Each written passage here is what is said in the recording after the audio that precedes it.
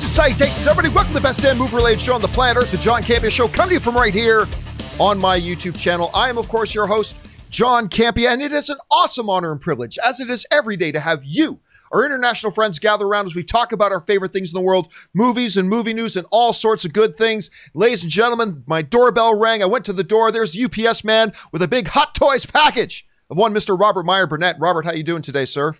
Fully accessorized, John. Fully accessorized. That's what I can tell say- you. I thought you were going to say fully assembled. And fully articulated. You know and what I'm saying? oh, jeez. Uh-huh.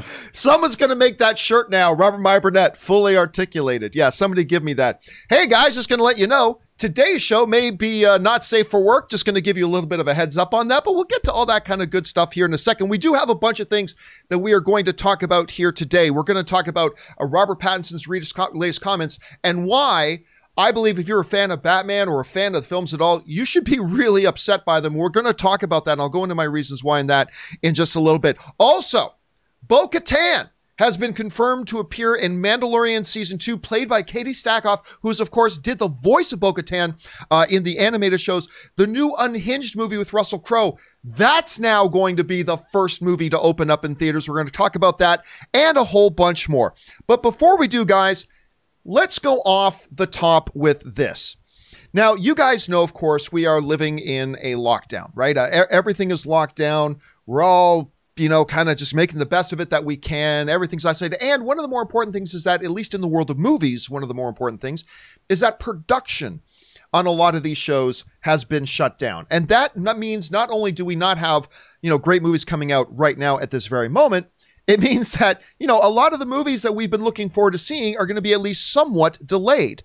Well, just as there may be a little bit of light on the horizon with movies coming back into theaters with Tenet's July 17th date and this unhinged thing that we'll talk about in a minute, it also looks like there's light at the end of the tunnel for production, physical production on movies to maybe start back up sooner rather than later. According to reports coming out here now, it looks like the UK is going to allow big productions such as Batman, The Witcher, and many other shows they refer to go back into production. This is the comment that's coming out of the UK government. It says the government is working closely with the screen sector to understand how different types of productions can comply with social distancing guidelines and give confidence to people in the TV and film industries that there are safe ways in which they can return to work. This is from the Department for Digital Culture, Media, and Sports spokeswoman said in a statement.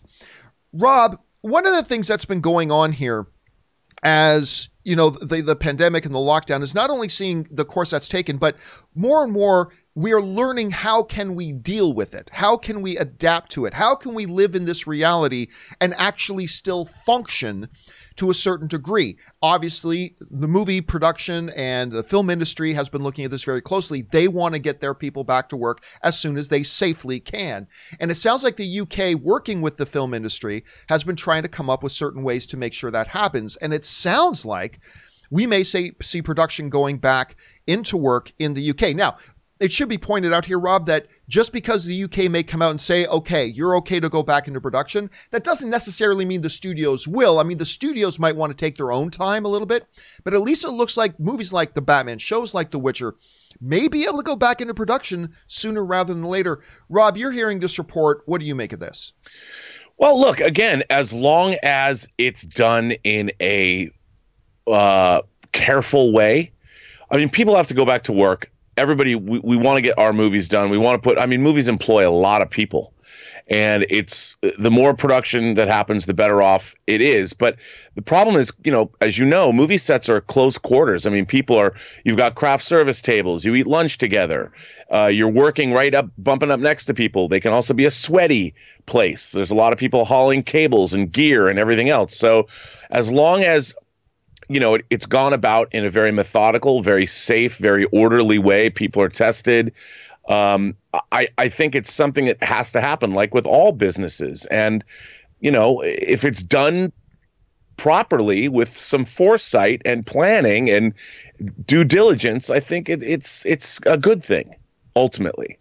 Yeah, and you're right. A lot of these sets, I mean, they were saying that on Tenet, like there could be up to 500 crew were on set Right. at a time for 10. So you're absolutely right about that. Hopefully they can find ways to do this. R- guys, what do you think about this report coming out? Do you think, oh yes, signs that they they finally might start getting the machine rolling again? Maybe do you think it's a little bit too premature? Maybe they should be more cautious. How do you feel about it? Jump down into the comment section below and let us know your thoughts. All right, guys. Just before we run into our main topics today, I want to remind you guys that if you wanting to listen or participate in the John Campea show, but you're commuting, you're you're driving, you're at the gym, you're at work, whatever, it's not the ideal environment to pop open a YouTube video. Well, the good news is, thanks to our Patreon supporters, there's an audio-only version. of The John Campea Show podcast is available for you guys to download and enjoy. It is the pure audio edition of the show. You can go and find that on your podcasting app of choice. And again, thank you to our Patreon supporters for making that possible. Okay, guys, with that down, let's move into our main topics today. And how do we select our main topics here in the John Campea Show? Well, it's really rather simple. You see, you guys come up with them by going anytime 24-7 over to www.thejohncampeashow.com slash contact. Once you get there, you're going to see a form. Fill it out with your topic or question. It's totally free. Hit submit, and then maybe, just maybe, you might see your submission featured as a main topic here on the John Campea Show. With that down, let's move into main topic number one. And our first main topic today gets submitted to us by Kyle, who writes Hey, John. So it looks like the DC app is becoming more irrelevant after seeing yet another exclusive in the form of the great yet canceled Swamp Thing show will now be playing its entire series on the CW. Of course, this entire series was only one season. Why bother getting this app? Because it appears the ship is sinking for it. All right. Thanks a lot for sending that in, man. And yeah, you know what? Rob, you and I have been talking about for the last little while as more and more of these, what were supposed to be DC exclusive shows, are now also playing on other networks. Of course, Stargirl is going to be playing on other networks. We just saw that Harley Quinn is going to start playing on Syfy and others. The latest in the round of that is the very short lived series, but was pretty darn good actually. Swamp Thing. This report comes to us from the Hollywood Reporter that says Swamp Thing, starring Crystal Reed and based on the DC title of the same name, will become the second DC Universe series to air on the CW, joining Stargirl, whose episodes will debut on the linear network a day after they launch on the streamer. The network is a joint venture between the DC Universe backers Warner Brothers and TV studio uh, CBS TV studios. All right. So what do we got here? Well, the first thing we should clarify is this. Some people got kind of excited when they heard these reports coming out because they thought that meant that CW was going to do a season two of Swamp Thing. Uh, And I'll admit that was kind of my first impression as well. But as I looked more into it, it at least appears, it at least appears that that's not the case. It seems like what the reality is right now is that this is just them taking the season that exists as it is, and they're just going to put it on CW which is actually not a bad move for CW when you think about it because they've got nothing new to show and they don't have anything in production right now. If they can actually pick up a series that a lot of people haven't seen yet and give themselves some more on air content, it's a pretty good move. It's a pretty good move on their part. But Rob, it brings up the question again. If all this stuff that was supposedly and supposed to be exclusive and made for DC uh, Universe, the streaming service they have, why does it even still exist? And, and Rob, I know we've we've kind of speculated that once HBO Max really gets rolling, because a lot of this stuff is going to be over there, including a show I'm very very excited about, is going to be over there. It just seems to me that it is inevitable that the DC Universe streaming app is just going to get folded into HBO Max. Yes, there are the digital comics you can read on there, but that's not what the main platform is meant to be. So I don't know, Rob, you hear about this whole thing. What do you make of it? Well, uh, it's quite interesting because they haven't really said anything about what's happening to the DC Universe app. I mean, there's been no, nothing, zero. So I would just assume that, look, who knows? What if the Swamp Thing does really well in the ratings and maybe they bring it back? you know, for a second season. It was a really beautifully made show. I I really liked it, and I thought that why are you stopping the show? I you remember the when they they put the kibosh on it like like like one episode had One aired or episode in. something. Yep. And and they they it was like what what you know, and I know I had friends that were working on the show, and everybody was sort of blindsided by it, and there was a lot of great work that went into it. I think one kudos to the CW for picking it up. It was announced, of course, this morning that Doom Patrol is coming back, obviously on HBO Max on what June 25th. So to see, so excited for that. I, I know, right? And and it's uh, these these were great shows, and to see them get this kind of exposure, I mean, how many people are now going to be able to see? Uh, Swamp Thing that didn't see it before. You know, I mean, you you didn't have to have an app. Now it's going to be on free broadcast television. You could you could have ten times the audience in one time one shot than you did ever. And then what if it became? I would love this if it became a hit. So I think it's great that these shows are breaking free. The HBO universe, HBO universe, the DC universe app, I, I don't think ever penetrated like they wanted it to, even though I was a fan of what they did with it. And I just think that HBO Max, which is sort of consuming all of these other platforms, it's a great idea. It's a one stop shop. You're going to be able to go and get everything that you need or everything that you want. And if if they can uh, if they can broaden the appeal and broaden the the viewership of these shows, more power to them. I'm really excited about this. I think it's a really interesting move. Guys, question is did you guys ever watch Swamp Thing? I find that most people that watch it actually quite enjoy. I was very late to the party. It was better than I thought it was going to be. What do you think about this move to CW? Do you think do you have optimism like Rob does that maybe becomes a hit on CW and maybe they decide or it? after all, we did see a brief Swamp Thing cameo at the end of Crisis on Infinite Earths. Just throw that doesn't necessarily mean anything. I'm just throwing that out there. What do you guys think? Jump down into the comment section below and let us know your thoughts. All right. With that down, Let's move on to main topic number two. And our second main topic today gets submitted to us by Patreon, uh, one of our Patreon supporters, Don J, who writes Hey, John. So the trailer for the new Russell Crowe thriller, Unhinged, was just released. The studio behind it, Solstice Studios, they're a brand new studio, by the way, says it will open on July 1st in theaters. It was actually moved up from a September 4th release date. What do you make of this news? And do you think this is a pretty certain sign that theaters will reopen that weekend? Regal has already started promoting its release on their website. All right, thanks a lot for sending that in, man. And yeah, hey, somebody crashed the Tenet party. You know, Tenet has has been Warner Brothers and Christopher Nolan has been really important to them. We want our movie to be the first movie out in theaters. We've been talking about how Tenet's going to come along. It's been that light at the end of the tunnel. Well, apparently other people have been listening because it looks like this movie, Unhinged, is going to be opening. They moved it to July 1st. Now, the first thing I should say is this: I watched the trailer to this movie. It looks bonkers.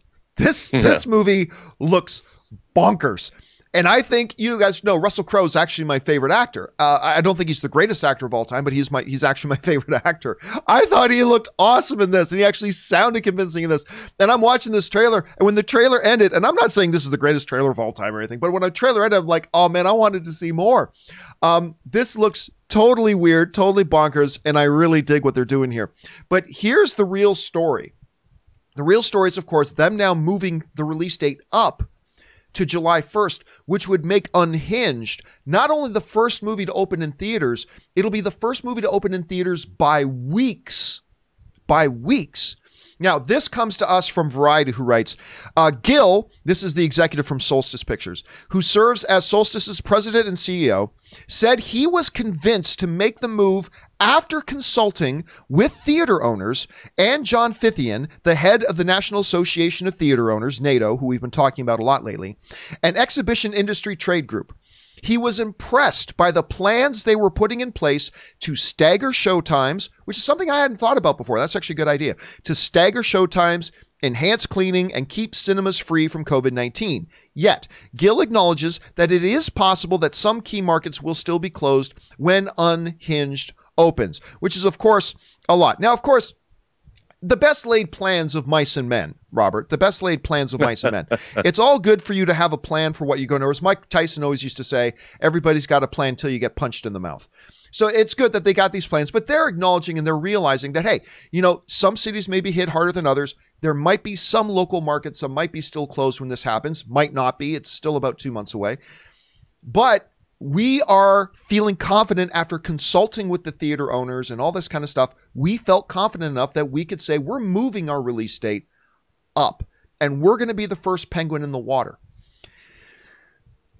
Rob, it, it it's it's an odd, it's an odd move to me.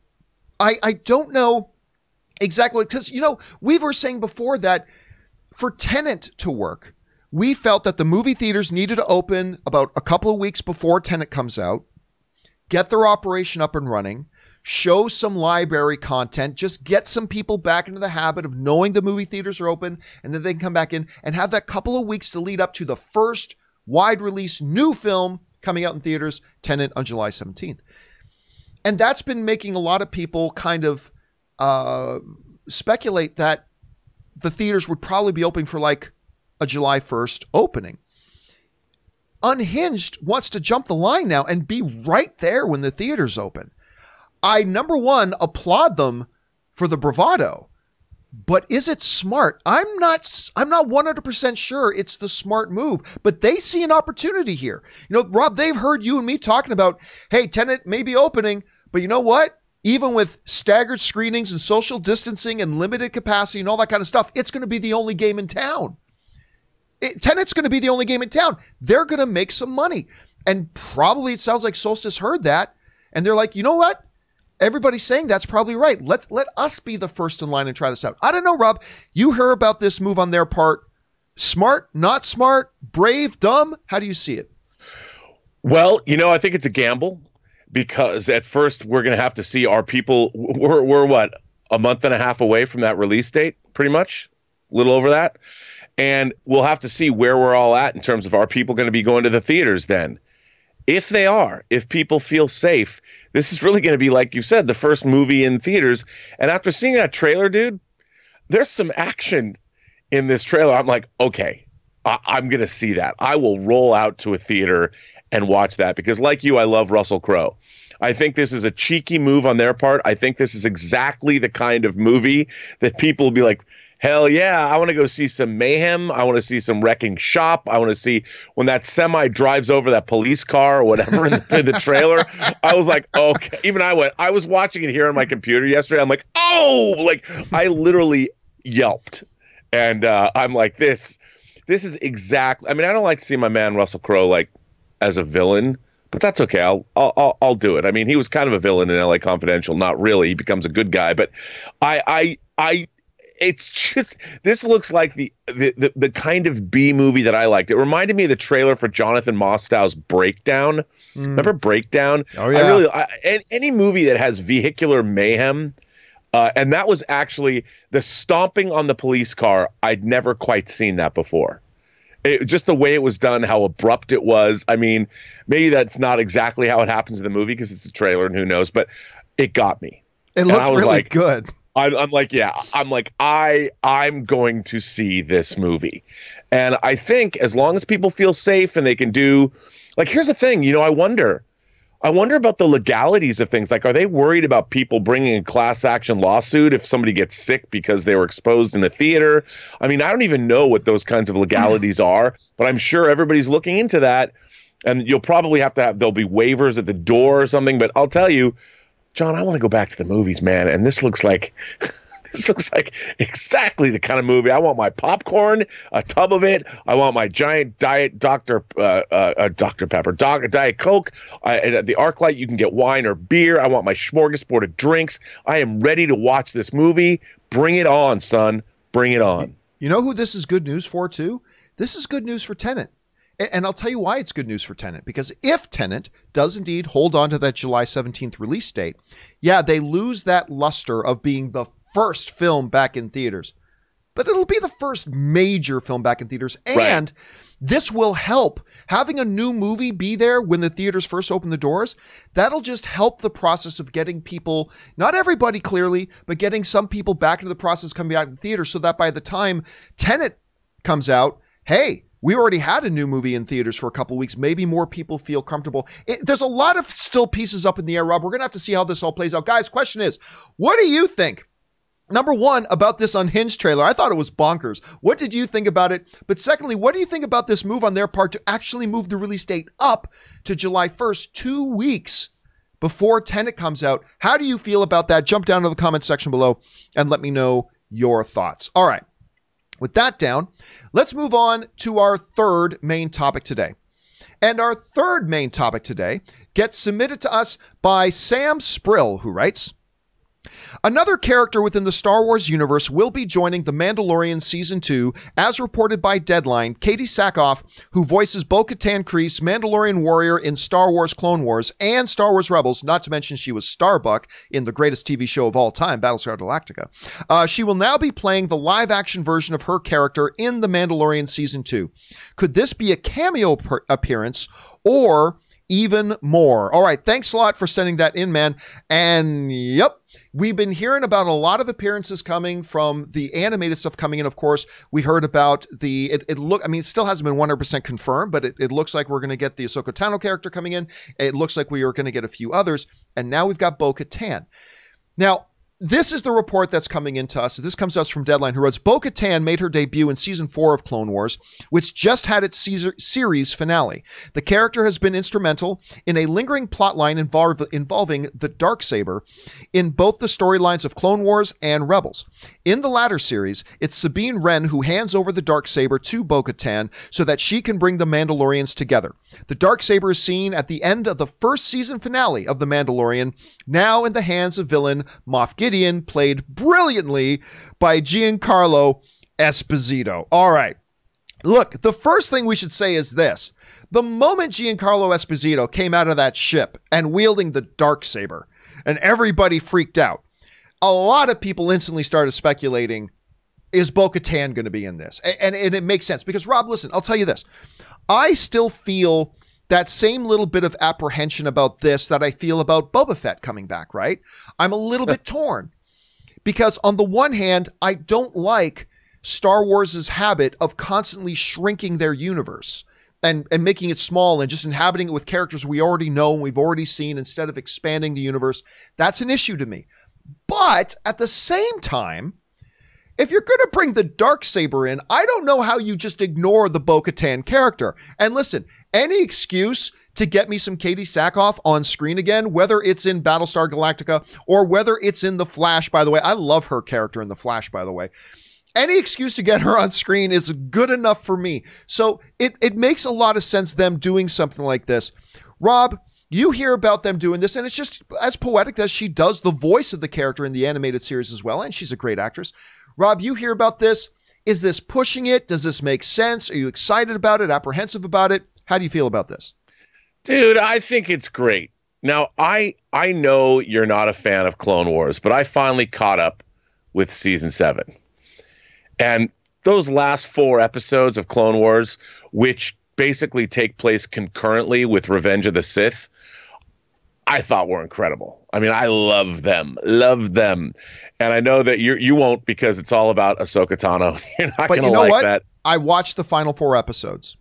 Oh, you did because as soon as I heard that Bo Katan was going to be in Mandalorian, and knowing Bo Katan was in the final couple of episodes, I thought, well, then I really should watch these last four episodes. I don't think they were great, but I will Come say on. this. I don't think they were great, but I will say this, and this is this is a lot coming from me. I thought it was the best episodes of Clone Wars. I thought they were the. I, I still think a, a number of the episodes of Rebels, another Dave Filoni property, were even better. But I I never enjoyed episodes of Clone Wars more than I enjoyed those four episodes. I thought Well, it was the good- best that's good. example. I thought it was the best example of Clone Wars. I, I will give it that. Anyway, please do continue.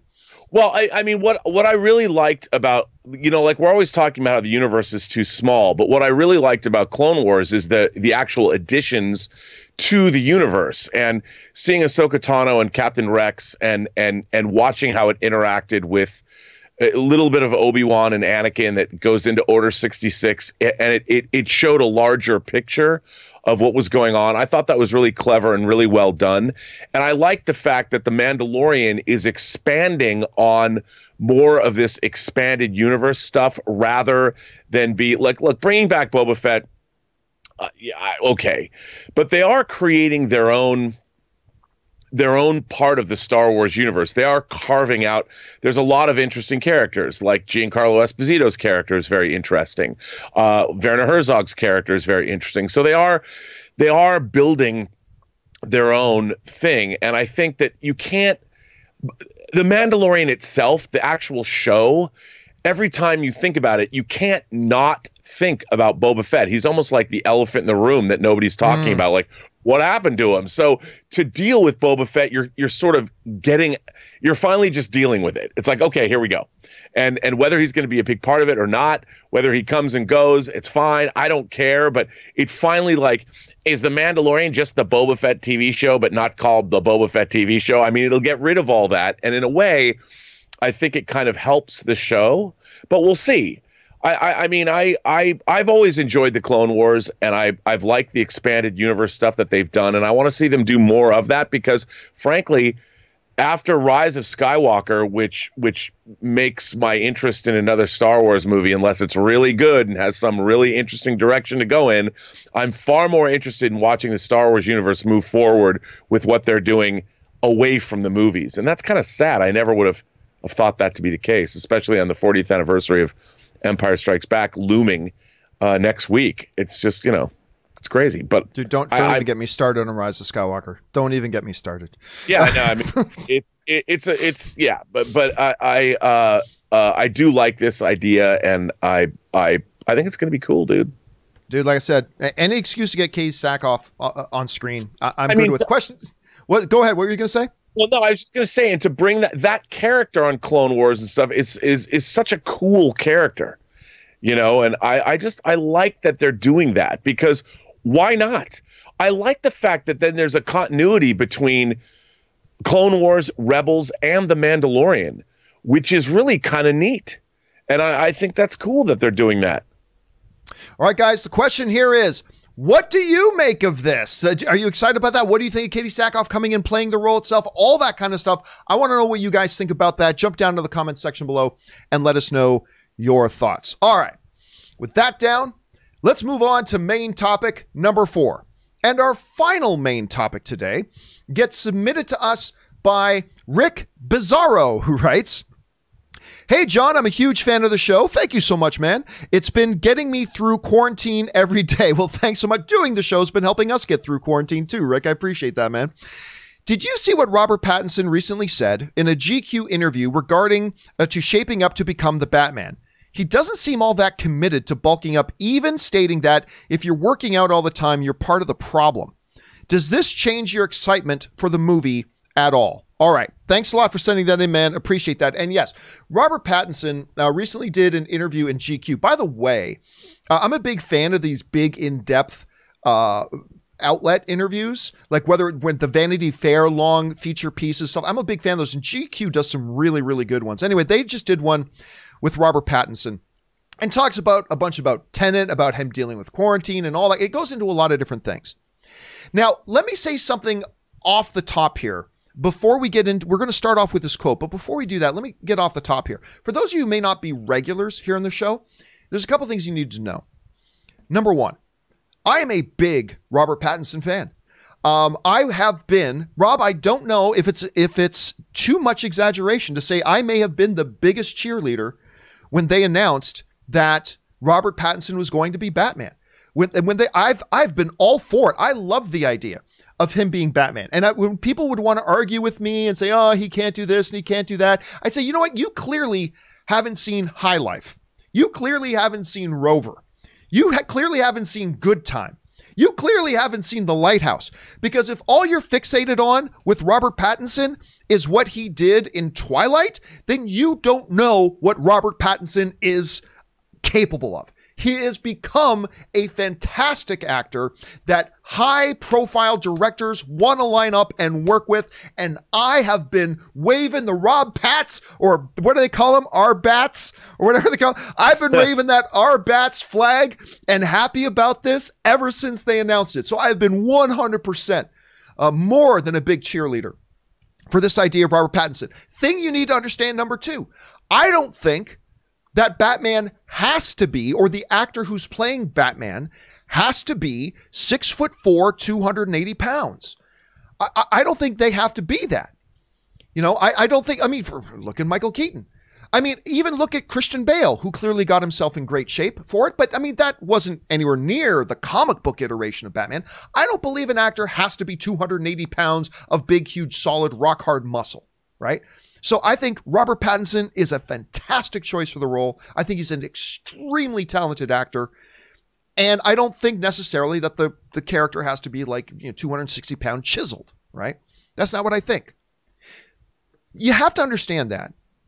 To understand why I, as a supporter of Robert Pattinson, as somebody who has been a cheerleader for Robert Pattinson being cast as Batman, and as a fan of the Batman character, that I've taken some serious issue with something in this GQ article. Let's get to the GQ article and then let's break down what was said. It was said, this was from the GQ article. The film studios hired a trainer. Uh, not to mention, they also paid for nutritionists and all this kind of stuff. The studio got Robert Pattinson a trainer. The film studio hired a trainer who left Pattinson with a Bosu ball and single weight and a sincere plea to use both during the pandemic, during the lockdown, while he's not doing anything else except sitting at home. But right now, he says, he's ignoring her.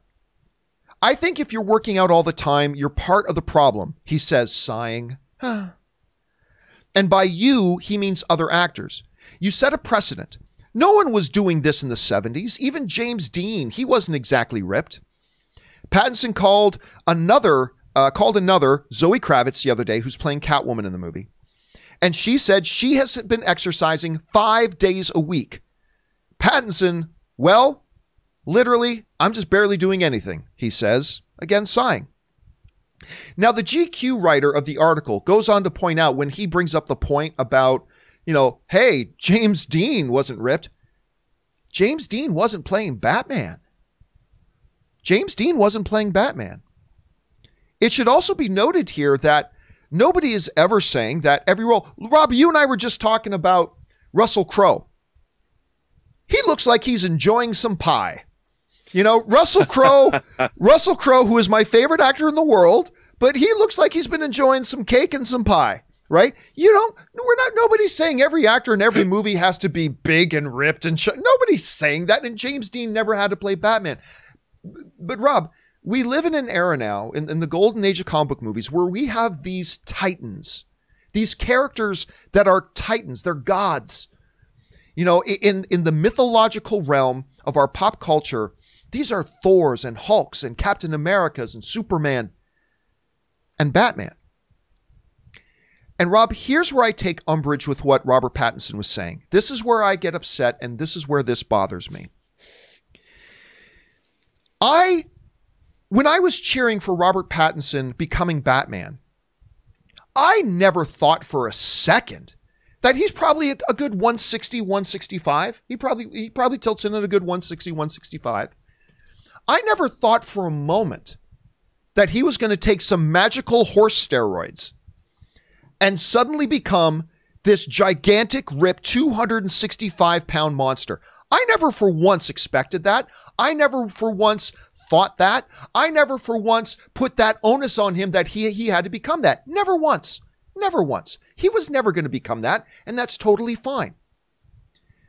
Rob, the only thing I want from the actor who's going to be playing Batman, an actor who is getting a role that tens of thousands of other actors would kill for and do anything for. A character that is a titan in our pop cultural consciousness. The Batman character is almost as recognizable as a portrait of Jesus somewhere around the world. Batman is an important character to the studio. A studio who has entrusted this iconic character to you and a fandom that the studio and you are asking to get on board with. And I'm one of them. I'm on board. Rob, the only thing I ask of an actor who is blessed and privileged and anointed with this iconic role, this trust, the only thing I ask is give me, as an audience member, your best effort. That's all I ask take the role and say, you know what? I'm never going to be 260 pounds bodybuilder, but I'm going to give you my best effort. That's all I ask. That's all I ask. Honor the studio that hired you by saying, you know what? I'm going to give you my best. And my best, because here's the thing, Rob, if Robert Pattinson committed to a workout regime, and the best he could do is give us like a 190 pound Batman, like a solid 190. That's all I ask because you tried. Just honor the fandom, honor the fans of this by saying, I'm going to give you my best effort. Because guess what, Rob? Picking up some weights when you're locked up at home and you have nothing else to do anyway, all that is a question of is a question of effort. That's all it is. It's a question of commitment and effort, nothing else. Robert Pattinson has all the talent in the world. He has all the talent in the world. Do you know why Carrie Fisher and Mark Hamill, who are way older than, than Robert Pattinson, why they got nutritionists and started workout routines and did all that kind of stuff when they knew they were going to be in Star Wars The Force Awakens? They didn't have to. What are they going to do? Cast somebody else to play Princess Leia while Carrie Fisher is still here? Of course not. They didn't have to. But as Carrie Fisher said, she owed it to the fans. She owed it to the character to get herself in shape. And at her age, what she did to get herself into the shape that she did for that role, it showed an amazing commitment to the character, to the studio, and it showed an amazing commitment to the fans. Rob, you know, I'm not a big fan of Gal Gadot. I'm not, I'm not a big fan of Gal Gadot. I, I don't think she's a particularly super talented actress. You know, and that's fine. I, I don't think she's the worst actress in Hollywood, but you know, I, I just being honest, it's my subjective opinion. But you know, back in 2013, or around that time, when they were talking about her being a, a, one of the finalists for the Wonder Woman role, one of the concerns, aside from her acting prowess, which was my, my main issue, but one of the concerns was like, I mean, she just doesn't embody Wonder Woman. I mean, look at this. This is her back when Fast and Furious 6 came out. And I think a lot of people would, would look at that, oh, and myself oh, and myself yes. included. I mean, besides being absolutely stunningly gorgeous, obviously, but I mean, that's not an Amazonian warrior. That's not an Amazonian warrior. But you know what Gal Gadot did that has my eternal respect? Gal Gadot said, I'm going to, you know, I'm going to bring my talent to it, whatever amount of talent she's got. I'm going to bring my talent to it, but I'm also going to give it my effort. Because if I'm going to be Wonder Woman, I'm going to get as close to embodying that character as I can. Gal, again, look at this picture. This this this girl was never going to be, you know, a female bodybuilder, right? She, no, no matter what she did, she was never going to be some big monstrous female bodybuilder. But you know what she did say? She said, I may not be able to be a big monstrous female bodybuilder, but I'm going to give you my best effort. And you know what she did? She got in the gym and she worked her ass off.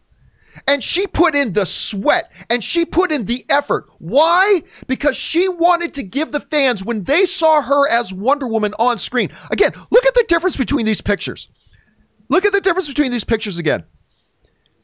And what has my eternal respect from Gal Gadot was like, you know what? When I get on screen, I may not be the perfect picture that you had in your head of Wonder Woman, but I'm going to give you my best effort to get to as close to that as I can so I can be that manifestation of this iconic character for you, the audience, for you, my bosses at Warner Brothers, and for you, Wonder Woman, the character. I'm going to put in that effort. A great article was written by about Alicia Vikander. Remember when she took over the role of Lara Croft for Tomb Raider? Listen to this. Th- this is telling, and this speaks right into. And I'll get back to Robert Pattinson here in just a second, but this is important to tie into this whole situation. Alicia Vikander, and I'll read this off verbatim. Alicia Vikander was 117 pounds before preparations for Tomb Raider began, and she was already an Academy Award winning actress who didn't require physical alterations to play the role in the mind of the producers. But listen to this this is key, this is important. But to Vikander, 30 years old, I guess she was 30 at the time, but to Vikander, 30, in order to play Lara Croft and enter into that relationship with the audience, one has to look like she can do what Lara Croft can do, or at least get as close to that as possible for the role. She entered into a vigorous regime that saw her add 12 pounds of muscle in order to become the character, and more importantly, to her, to honor the fans of Lara Croft, anxious to see the hero manifested on screen for the first time since 2013. Let me read that one part again. because this is the mindset of a professional. This is the mindset of a pro who is committed to the character, committed to the studio, and committed to the fans. Listen to this again. To her, uh, she entered into a vigorous regime that saw her at 12 pounds of muscle in order to become the character, and more importantly, to her, to honor the fans of Lara Croft, anxious to see her manifest on the screen, to see the character manifested on screen for the first time since 2003. Do you think Hugh Jackman, when you go back and, and read the interviews with Hugh Jackman, do you think Hugh Jackman had to work out three hours a day and take on that ridiculous meal plan that Dwayne The Rock Johnson gave him? He looked fine in the first X Men. Hugh Jackman looked perfectly fine in the first X Men movie. And he could have stayed at that, maybe improved it a little. But when you read his interviews over the years, Hugh Jackman was fanatically committed to wanting to give to the audience as close to what the Wolverine in their imaginations would look like. He was, listen, Hugh Jackman was never going to be as physically large as Dwayne Johnson, Rob. He was never going to be as big as Dwayne Johnson. He just doesn't have that body frame. But what Hugh Jackman can do is listen, I'm committed to this character and I'm committed to these guys. So what I'm going to do is my best. I'm just going to do my best. That's all it is. And Rob, when a studio hires you for millions of dollars, now I'm not saying he's not making Robert Downey Jr. money. I mean, let's not let's not get carried away. He's not making Robert Downey Jr. money, but still, when a studio is paying you millions of dollars and hiring you nutritionists and hiring you trainers, and all they say to you is, "Hey, how about, you know, while you're locked at home and not doing anything, think maybe you could lift some weights? Think maybe you could you know, work out a little bit?" No. I'm Robert Pattinson, asshole. I don't do that. Screw you. I don't have time for that. I can't be bothered with that. What the fuck else are you doing, you asshole? You're sitting at home during a pandemic you're making mac and cheese. There's nothing else to do. This company's paying you millions of dollars, hired you professionals to help you, whatever. And nobody's expecting you to be a 250 pound bodybuilder. Nobody's expecting that. All we want is your commitment and effort. And Rob, what this says to me as a fan, what this says to me as a fan is that he does not have the respect for the character. He does not have the respect for the company that is paying him millions of dollars. Rob, he's getting paid more money to do this movie than almost everybody watching this show is going to make in their entire lifetimes. He's making more money doing this one movie than most of us individuals either participating in the show or watching the show will ever make in their lifetimes. And all they are asking him to do is pick up a fucking dumbbell. Show some commitment, show some effort, honor the fans of the character, honor the studio that's paying you. Hell, honor the character itself. All we're asking for is your effort. And all working out is, Rob, is effort. You're never going to look like Hugh Jackman. But you know what? Give us the best version physically as the presence of Batman that you can. And Rob, let me go back to the one thing that was that uh, Alicia Vikander also mentioned um, in in that article again. I want to read this one part about the Alicia Vikander thing uh, again. It says the award-winning actress didn't need any physical alterations to play the role in the mind of the producers, but to her, to Alicia Vikander, 30, in order to play Lara Croft and enter into that relationship with the audience, one has to look like she can do what Lara Croft can do. All any of us are asking Robert Pattinson, is that just be the best version of you. That's all. Just give effort. And if you put in the weights and you put in the effort and you put in the sweat and you put in all that work, like Gal Gadot put in for Wonder Woman because she wanted to honor the fans and respect the fans and respect the character, that Alicia Vikander put in because she wanted to respect the character and she wanted to respect the fans and honor the fans. All we're asking is that you try. That's it. Just put in the effort. Just put in the effort. And what this screams to me, Rob, some rich, privileged asshole who I, and I feel like a giant asshole because I've been the biggest fucking cheerleader of this guy. I've been the one going, yay, our Pats, our Bats is coming, guys. He's going to be great in this role. And he is going to be great. He's a great actor. I have no doubt his performance is going to be great. But it bothers me, Rob, when somebody has been given a role that tens of thousands of others would kill to play, when he's been given a job that is going to pay him millions of dollars, when he gets to be in a movie that millions upon millions and millions of fans are anxiously waiting to see the next incarnation of the Dark Knight on screen, and you can't be bothered to pick up a fucking dumbbell. It tells me you're not you're not there.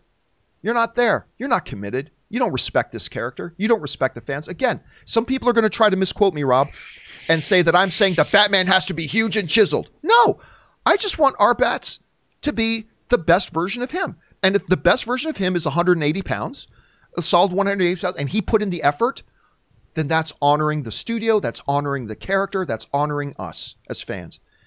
To sit at home while his co star, by the way, while his co star, Zoe Kravitz, is wanting to honor the studio that hired her and is wanting to honor the fans that want to see Catwoman on screen and is honoring the character of Catwoman by working.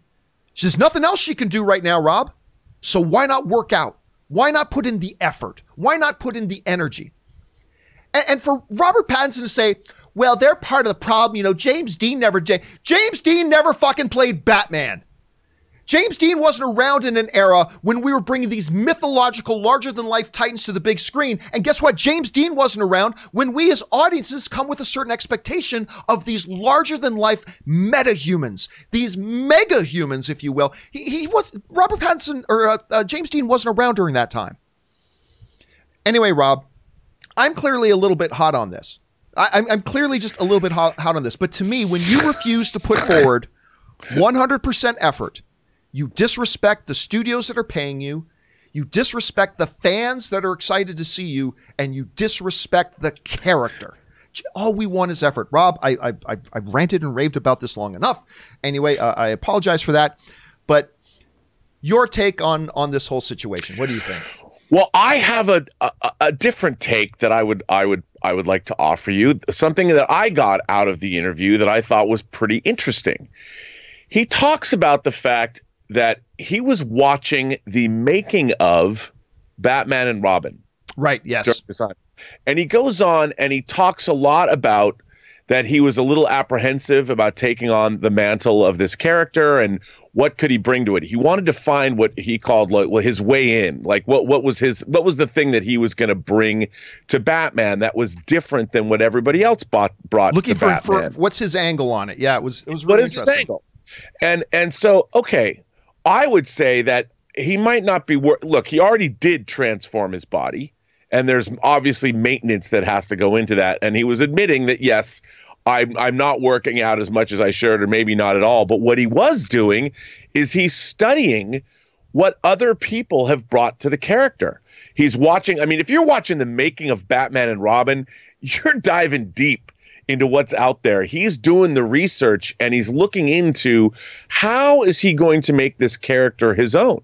How is he going to make it unique? How is he not going to do Keaton? How is he not going to do Clooney or Kilmer, you know, or Christian Bale or or uh, Ben Affleck? And when I was reading that, I found that really interesting to know that he he was now diving into. He said he already figured out a way but he's still doing research. Even in this lockdown mode he's he's really i mean he, as, as, far as i know maybe he's going back and watching adam west and burt ward episodes of the 66 batman. I mean i i don't know but i saw it as while look taking a break from working out working out is a grueling i watch Brandon Routh. I filmed Brandon Routh doing it on Superman Returns, and it was brutal. And that guy, Brandon, completely transformed himself on Superman Returns, and he did get huge. Like his shoulders and arms were gigantic compared to the way they were when he first got the role.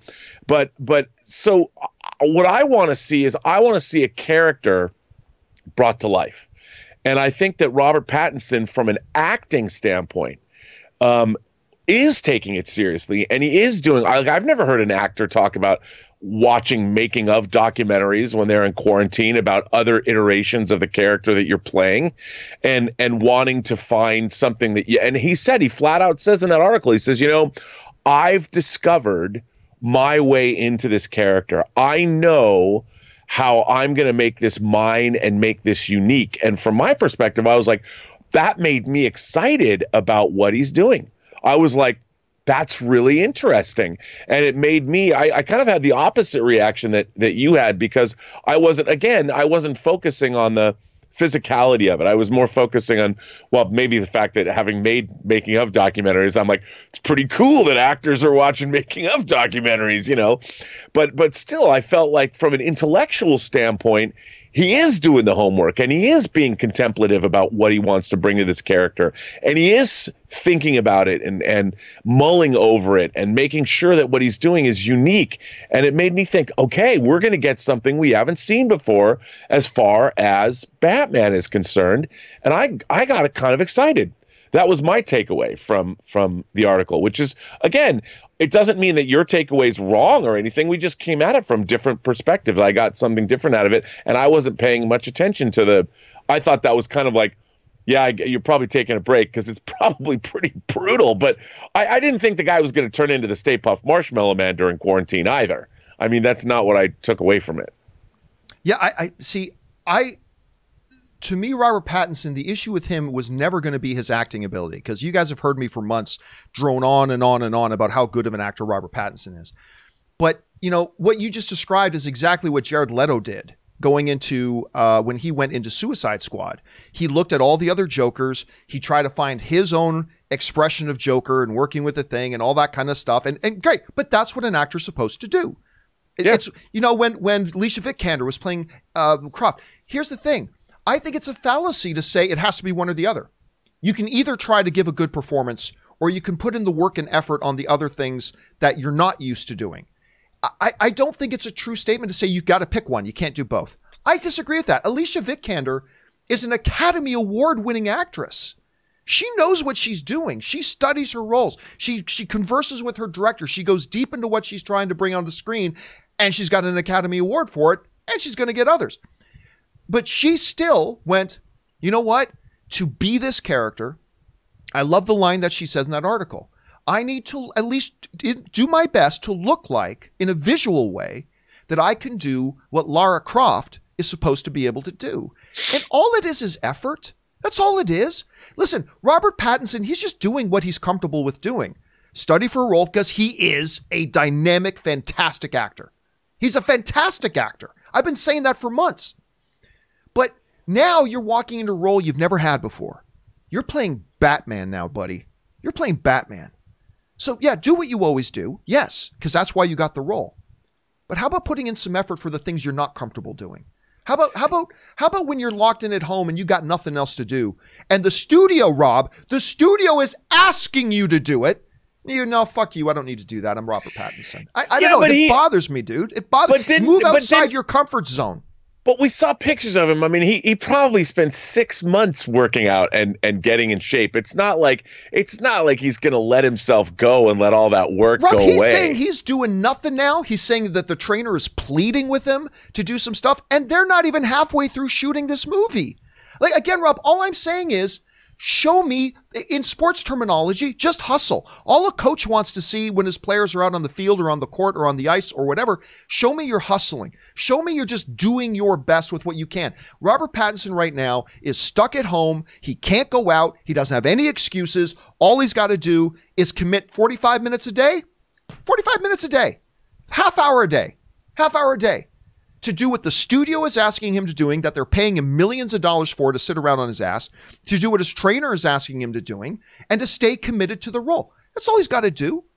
That's all he's got to do. I'm just saying, Rob, as somebody who adores Robert Pattinson as an actor, as somebody who has been so excited about him being cast as Batman, as somebody who has told and tried to convince other people, get on board with Robert Pattinson as Batman because he's going to do a great job. And I believe his thespianism will be there no matter what. His acting ability is going to be there no matter what. But I just think it's a fallacy to think it has to be one or the other. Hugh Jackman proved it doesn't have to be one or the other. Brandon Routh proved it doesn't have to be one or the other. Gal Gadot proved it doesn't have to be one or the other. Alicia Vikander proved it doesn't have to be one or the other. And if working out during your downtime isn't beneath Hugh Jackman, if working out during your downtime isn't beneath Gal Gadot, if working out during your downtime isn't underneath Carrie Fisher, if working out during your downtime isn't underneath Alicia Vikander, then look at me in the face, Pattinson, and tell me why it's beneath you. Tell me why you can't be bothered to do it. And for him to say, you know, the actors are the problem.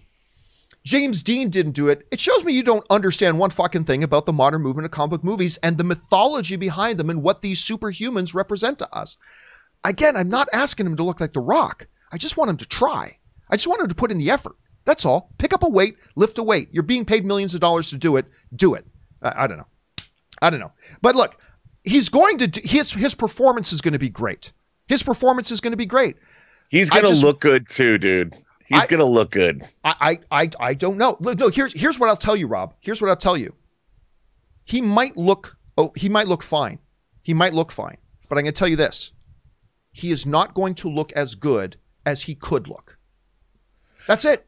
He's not going to look as good. He'll look fine, but he's not going to look as good as he could have if he had just worked. And that's all I'm But saying.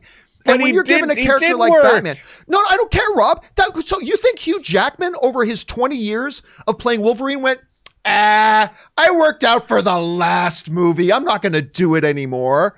I'm not going to do. He worked out like a madman for 20 years because he felt he owed it to the fans to do that. Robert Pattinson, okay, I put in a couple of months, I got a little chip, but, but now we're in quarantine. We're still not done shooting the movie, and I'm going to sit on the couch. And, and all I'm saying, Rob, is when you're given a character like Batman, when you're given a job by a studio like Warner Brothers and given a character that the fans love and adore and have a certain picture of, put in the extra effort. Get off your ass, lift some weights. If all the difference in the world is is that you'll go from looking pretty good to looking even better than you would have, isn't the doesn't the character deserve that? Doesn't don't the fans deserve that little bit of extra effort? Doesn't the studio that's paying you millions of dollars deserve that little bit of extra effort? If the only difference between you looking pretty good in the role and looking even a little bit better is you putting in some extra hours and effort, don't you owe that to the character, to the studio, and to the fans? It's all it takes is effort. It doesn't take anything else, just effort and time. And he's got tons of both. But anyway, um, but you raise a good point. You do raise a good point. It's it's good to see, and it just speaks to his his the way Robert Pattinson is tuned in as an actor for his thespianism. The fact that he's doing what other Academy Award winners like a Jared Leto did or Alicia Vikander did, and that he wants to study, see what what his angle on the character is. I'm sure he's working very closely with Matt Reeves on that. I have no doubt his performance is going to be great. I, to this day, I have no performance. I have no doubt his performance is going to be great. I just think when there's other people who will never have the opportunity that he has, for him not to do every little inch that he can to make this as great and physically the manifestation of a screen that is available to him to do, for him to not do that, I think is downright disrespectful to the character, to the fans, and to the studio that's paying him millions of dollars. But not everybody will see it that way. And that is the great thing about this. This is why I love having you on the show, Rob. You often have these different points of view than mine. That's why I love having you here. Um, but listen, guys, I'm sure we all have different points of view on this. What do you think about all that? I, I, again, to me, if Gal Gadot can do it, why can't you? But anyway, jump down into the comments section. And I'm sure there's going to be a wide range of opinions on this, a huge wide range of opinions on this. And that's the great things about talking about movies is that we are going to have all sorts of different opinions on it. So jump on down to the comments section below and let us know your thoughts. All right, guys. With all that down and out of the way, uh, we are now going to move on to the live questions part of the show. Now, before we do, though, Robert and I are going to do as we do every day here. We're going to take a quick two or three minute break here. We're going to stretch our legs, rest the vocal cords, refill our drinks and all that kind of stuff. Give you a chance to run and use the bathroom yourself. So hang tight with us. And by the way, if you want to send in a question, there's two different ways you can do it. The best way to send it in is to use the tip link that's in the top of the description of this video. You can just go click on that link. It's streamelements.com slash movieblogtv slash tip. Uh, or you can use the super chat feature in YouTube itself. Either way, you will be supporting the channel and your question will get read. If we don't get through all the questions today, we'll do a companion video for it uh, as well. So, two benefits to that. All right, guys, hang tight with us. Robert and I will be right back.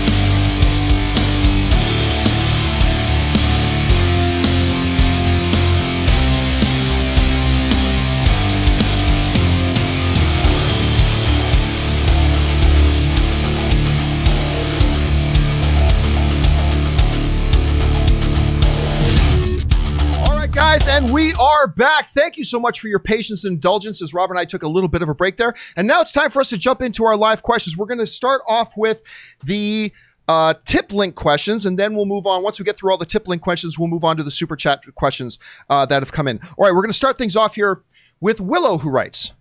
What did you think of Johnny Depp's performance in Black Mass? I thought he was great in the movie, and I really like seeing him take on a different role from Jack Sparrow or Tim Burton characters. I'll tell you what, Rob, I the movie itself did not turn out to be as good as I was hoping it would be, but I thought Johnny Depp was quite good, and it was really nice to see him actually play more of a serious role after not just Jack Sparrow and not just uh, uh, what was that that vampire one that he did or to see him play a character like that, I thought it was really great. What did you think about Johnny Depp in that movie? Uh, well, look, I wanted the movie to be better, but I thought he was great. Uh, you know, I also loved him when he played Joe Pistone and Donnie Brasco.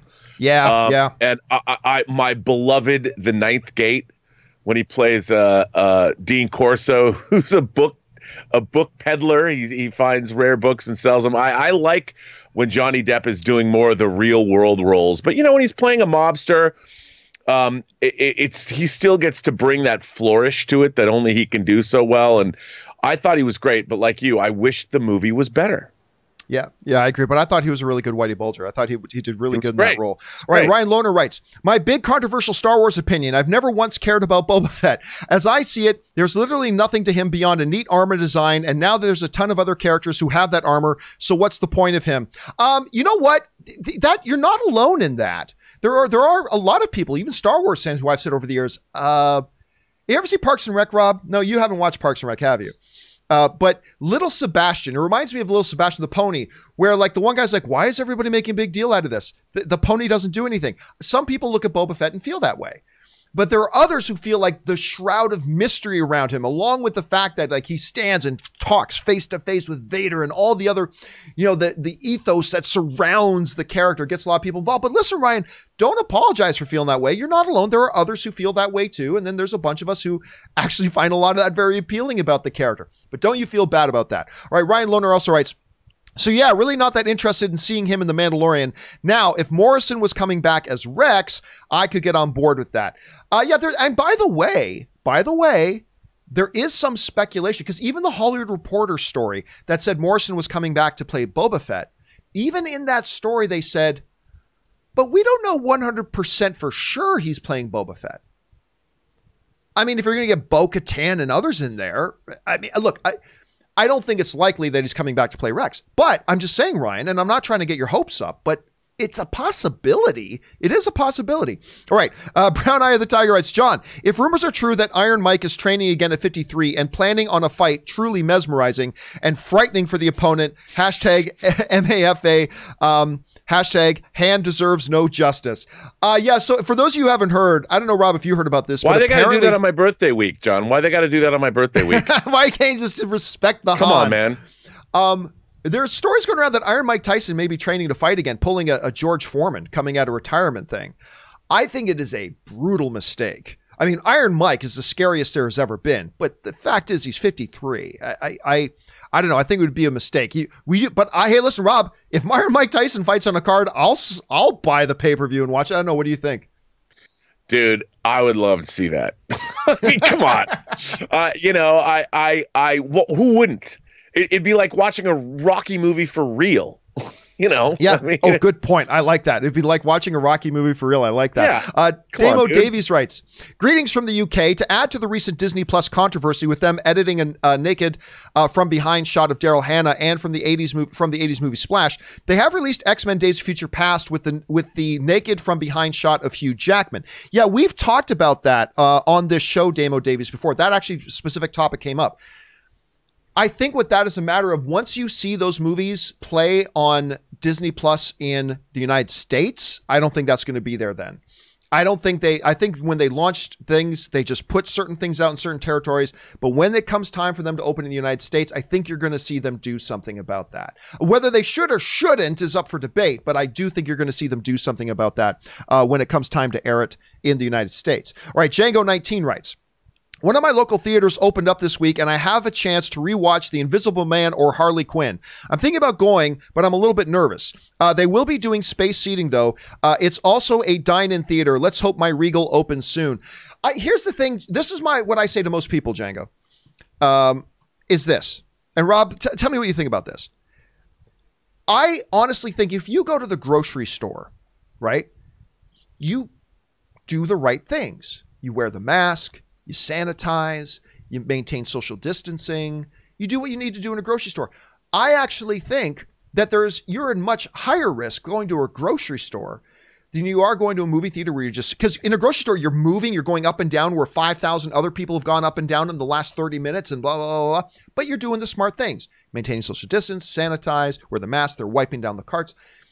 I think if you feel comfortable doing that, I think you'll probably feel comfortable going into uh, a static environment like a movie theater where you're sitting certain distance from people.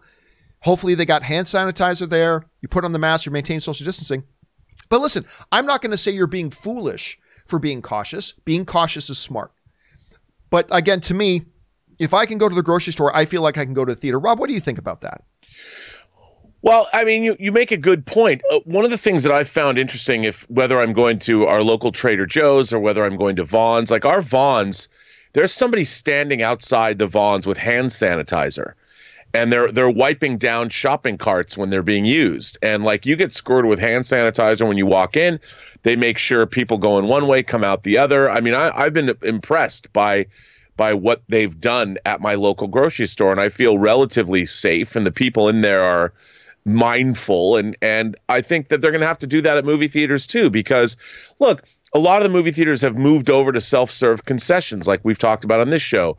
Soda fountains for instance. I mean you still go behind the counter to get your popcorn or something but you know you got people walking up to soda fountains and and using their hands and filling their sodas and their cups and everything and I want to make sure that that I feel safe doing that because that's part of my ritual of going to a movie is getting a, a soda there. I don't I don't I believe in supporting movie theaters by buying their their drinks or their concessions. I like it. It's part of you know, I, I find it to be comforting and I want to make sure that it's safe when you go there. And I think that movie theaters can can do that. You know, they already have people cleaning the auditoriums after each show for the most part. And um, you know, they're gonna have to do that to bring those businesses back to make people safe. So we'll All see. Right. Well said.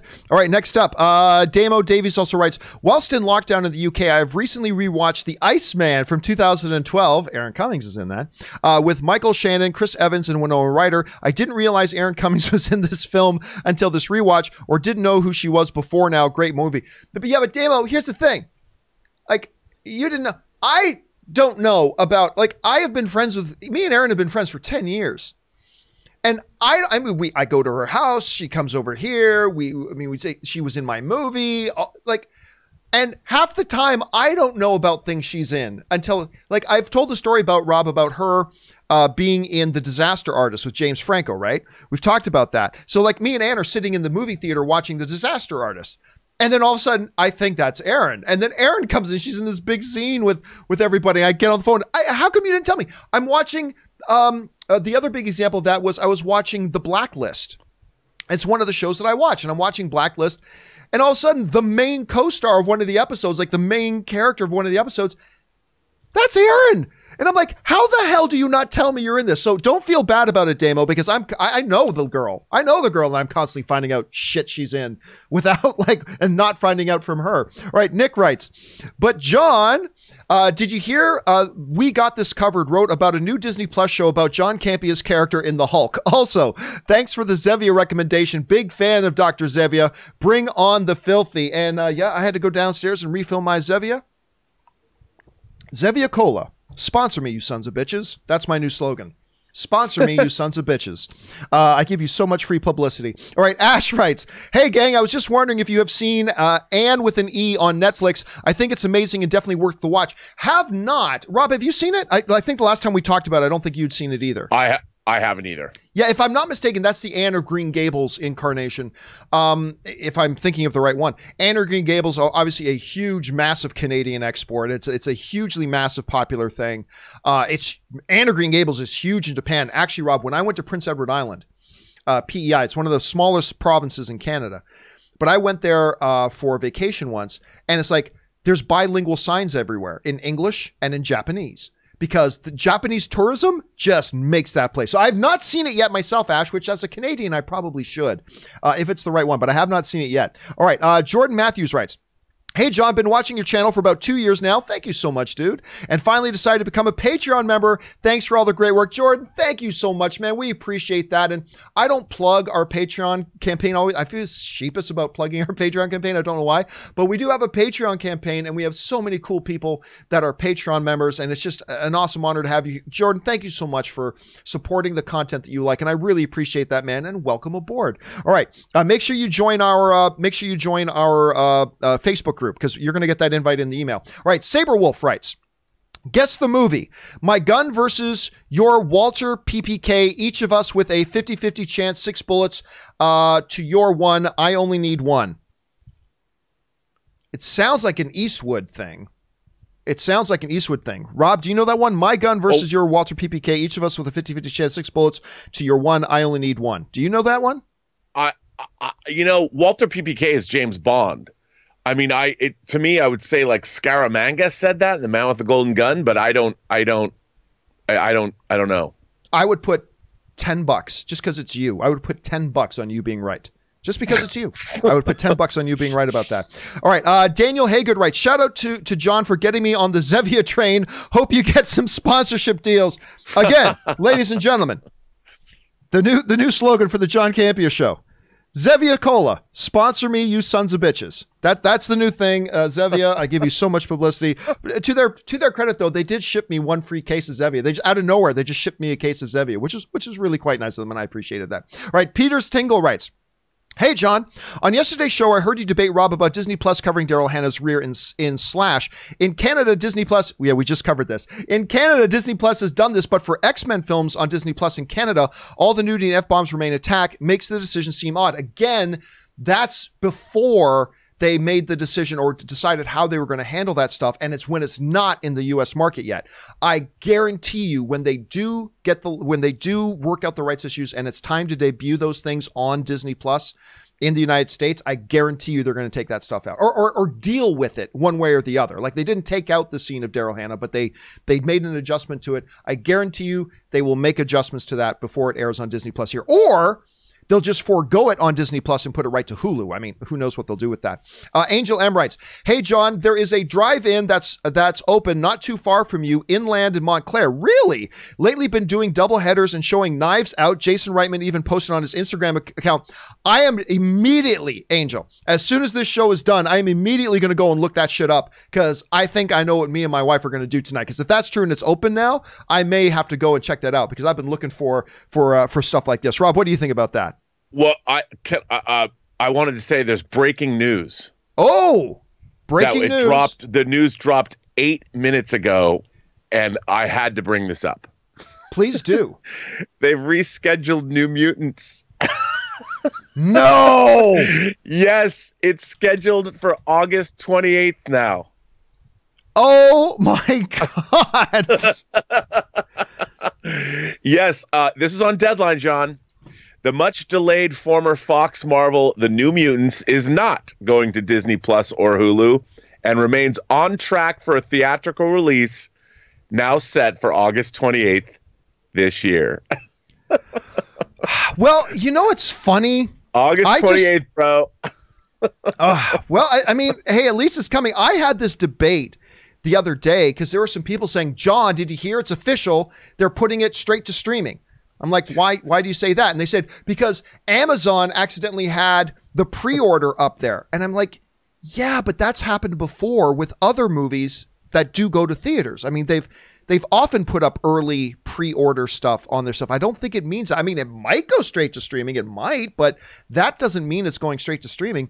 So I guess that's true. Okay, guys, very I'm, sure ex- I'm very excited, John. Very for excited. now until it gets bumped again. But August, and they're being kind of aggressive with it too. They're not like putting it off to February. They're actually being aggressive with it. They're putting it out in August. So they're uh, putting uh, yeah. it out around Wonder Woman. That's yeah, well, that's interesting. Okay. All right. Well, I, let's let's go more into that on tomorrow's show. We'll go more into that on tomorrow's show. Um, anyway, let's keep moving on here. Thanks for bringing that up, Rob. Uh, Tucker writes, "Hey John, uh, tonight is the Survivor All Winners season finale. I have loved this show for so many years, and tonight is the Super Bowl of Super Bowls for Survivor fans. I cannot wait for it. Yeah, I remember. I think Tucker, you wrote in about that before, and I'm like, I didn't even know that show was still on. Like, I was enamored as enamored with that show in its first season. I was much younger, but I was enamored with that show the first season. I think Richard Hatch um, or yeah, yeah, was was that the guy?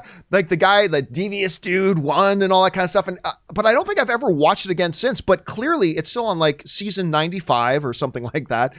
and clearly, it still has a fan base. And the idea of them bringing all the winners together for a big thing that's that does sound like a Super Bowl event if you're a fan of that stuff. I, so awesome, man! I'm glad you're enjoying it. All right, Hitchcock is the goat. Uh, right. I know Lucasfilm is 99% Star Wars, but there is that little thing called Indiana Jones. I'm 48, and my kids and I are dying for young Indiana Jones. That's three seasons of content from the early 90s that Disney Plus can use, not to mention where are the films. Rob, what do you think they're going to do or should do or, or any of that with young Indiana Jones at this point? Or should they do anything? Well, you know, I, I, Sean Patrick Flanery, there was there was various young Indiana Joneses. There was a really young Indiana Jones, and they sort of dispensed with him, and then they went with the Sean Patrick Flanery Indiana Jones. I I liked it, but I I, I this idea that that the kid incarnations of heroes, I've never really been down with. I mean, I remember seeing young Sherlock Holmes, and I really loved young Sherlock Holmes. I, I, I did enjoy that, but but in, in Last Crusade, it always bothered me that the the opening sequence is, is it's like Indiana Jones becomes Indiana Jones in one day. Here's how he got the scar on his chin. Here's his f- fear of snakes. You know, River Phoenix was playing young Indy, and, and he did a good job, but they always have to like compact the whole character into like one sequence or one movie. Here's how the character was he was forged in this film and he emerged fully formed into the person you know today. I've never really dug that. And while I'll watch a young Indiana Jones thing, I mean, you know, if they're going to do it again, I guess, but it's not my favorite thing, dude.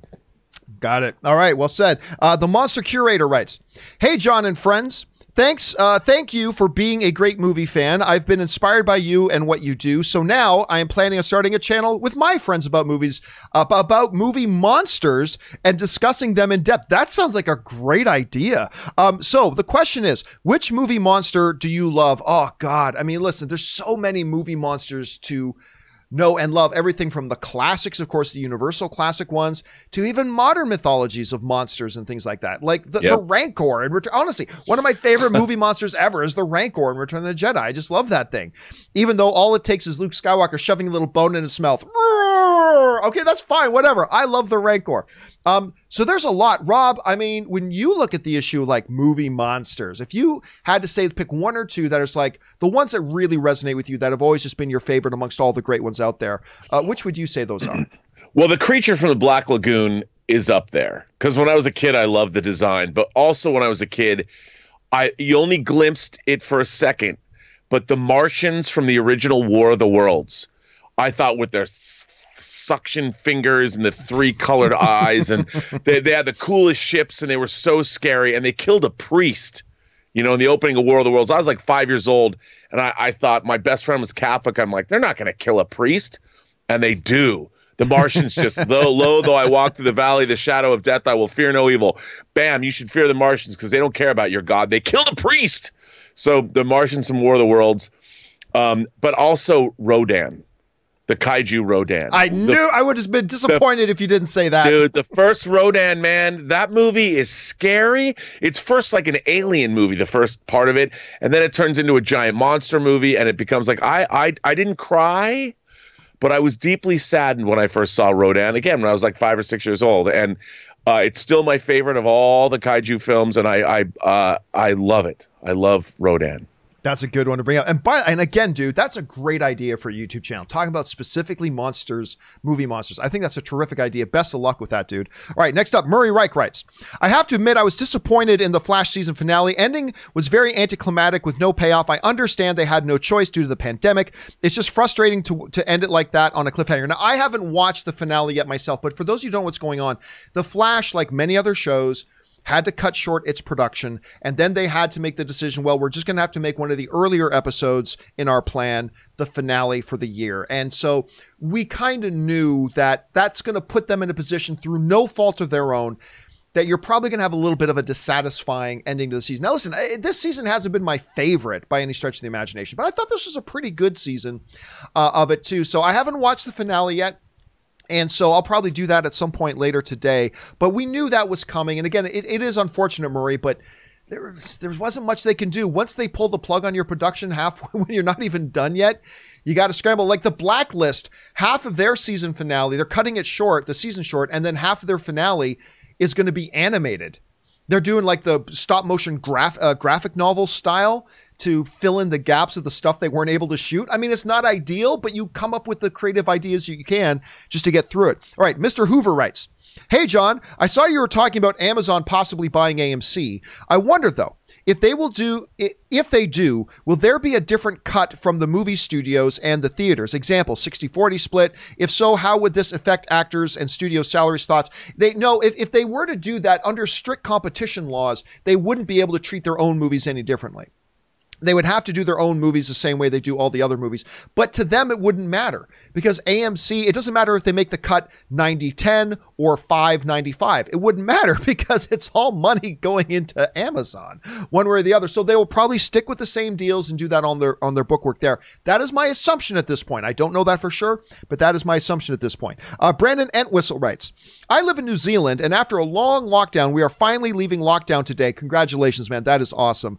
I like I like everyone else here, have been very excited to get back to the cinema, but unfortunately, we have no fresh films to show here, so we will be waiting for a lot longer. Well, listen, man, uh, though, uh, Rob, you and I have talked about this. Uh, yes, getting back to the movie theaters. Man, I'm just looking forward to going back to my favorite restaurant or hanging out at my favorite outdoor patio with, with a couple of drinks and, and my iPad and working the outside and, and a patio. I mean, all that kind of stuff. So Maybe you have a little while to wait, but hey, man, at least you get to go in and enjoy some library content that they we just get back into the theater again. So congratulations to you guys. Rob, what's the I'm just curious. Assuming that a movie theater isn't the first thing that opens, what's gonna be the first thing you do whenever the, you know the lockdown gets lifted? What's gonna be the first thing you do? Well, you know, there's a there's a local pub, Lucky Baldwin's, that's a couple blocks away from my house, and they are dog friendly. So you can walk your dog, and I like to sit outside, and they actually make chicken breasts with nothing on them specifically for dogs. So my dogs That's love so to nice. go. Yeah, they love to go to Lucky Baldwin's, and we'll go sit outside. Elizabeth and I'll go, and we'll sit outside, and the, I'll walk the dogs there, and they love hanging out, and they love they love getting those chicken breasts. And I, you know, I know the bartenders there, and I just like sitting outside. I get a beer and a double Jameson while the dogs eat and then I walk back home with them, and it's you know it's a nice sunny day in Pasadena, and I just miss I just miss chilling. I miss walking around town. You know, there's there's great places in Pasadena to walk to, and I like seeing people going to and fro and going places and doing things, and it it's just it's it. I hate I hate. I mean, I haven't really other than going to the grocery store, dude. I've been like in my house the whole time. Yeah. I want to get the hell out of here. Yeah, going to the gro- going to the grocery store and just taking our dogs for a walk around the block. I mean, that's that, uh, yeah. that's that's been it for for, for a few months. Uh, okay, uh, next up, David Crabtree writes one of two. A lot of people will seem offended when I say I believe that all film is subjective. They'll get very defensive. They'll say, no, there are objectively good and bad films. I'll ask them what unit of measurement, that sounds like something I would say, what unit of measurement and apparatus they empirically measure to, eh, to they empirically measure said quality. They'll then list off a, a set of standards and I'll retort that those are all personal sets of standards, but they are not universally objective. Then they'll say I'm an idiot or something else constructive. I listen, dude. You know me. I won't. I am tempted to go into my full rant again uh, about the whole thing, but uh, all film is. You know my position on this. All film is subjective. If you can't em- empirically measure something to show it objectively as a fact, then it is up to individual opinion and taste. Uh, now, there are other people who have different opinions of that. Rob is one of them, as a matter of fact. But uh, yeah, I'm with you, David. I'm I'm with you. All right, Edward Wells writes: New York City lockdown extended to mid-June. I don't see Tenet and Mulan keeping their release date. Again, though, the, the one of the things that the the Solace producer said about their upcoming movie Unhinged is that we recognize that maybe not all cities are going to be ready to open by that. But hey, listen, if the lockdown if the lockdown is extended to mid-June, if and that's a big if, if they do end the lockdown in mid-June that gives them another two weeks after the lockdown ends before Unhinged is set to open in theaters and a full month before Tenet. So, Tenet, theoretically speaking, and uh, guys, again, this is a giant if. If it does open mid June, that's still a full month until Tenet opens up. Again, I'm not saying it's going to happen. I'm just saying it's it's. I mean, the timetable would theoretically line up, but anything can happen. But Rob, I don't know. If they do, let's say New York City, by whatever stretch, ends the lockdown mid June. Do you think that gives them enough of a ramp up time to, to get like a July 17th Tenet out in theaters, or do you think that might be cutting it too tight? No, I uh, look, they're going to know, like we talked about yesterday. I, I, I think that um, mid June would be the cutoff point, but they can start ramping up. They're going to have to start. Uh, I wouldn't be surprised if we see a new Tenet trailer drop in the next two weeks because they're planning mm. on having it come out.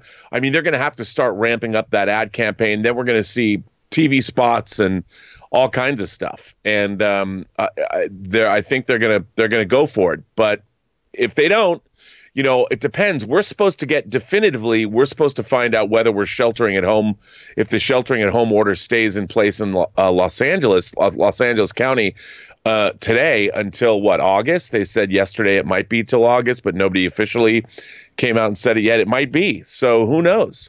But they're also allowing certain businesses to open up. I mean, our shelter in place order was until May 15th, and now they've put out guidelines of how to open up businesses and things like that. So so we'll see. But all right, they got to start ramping that, that up if they expect it to get out there. By the way, I want to see a new Tenet trailer, so let's let's. Uh, yeah.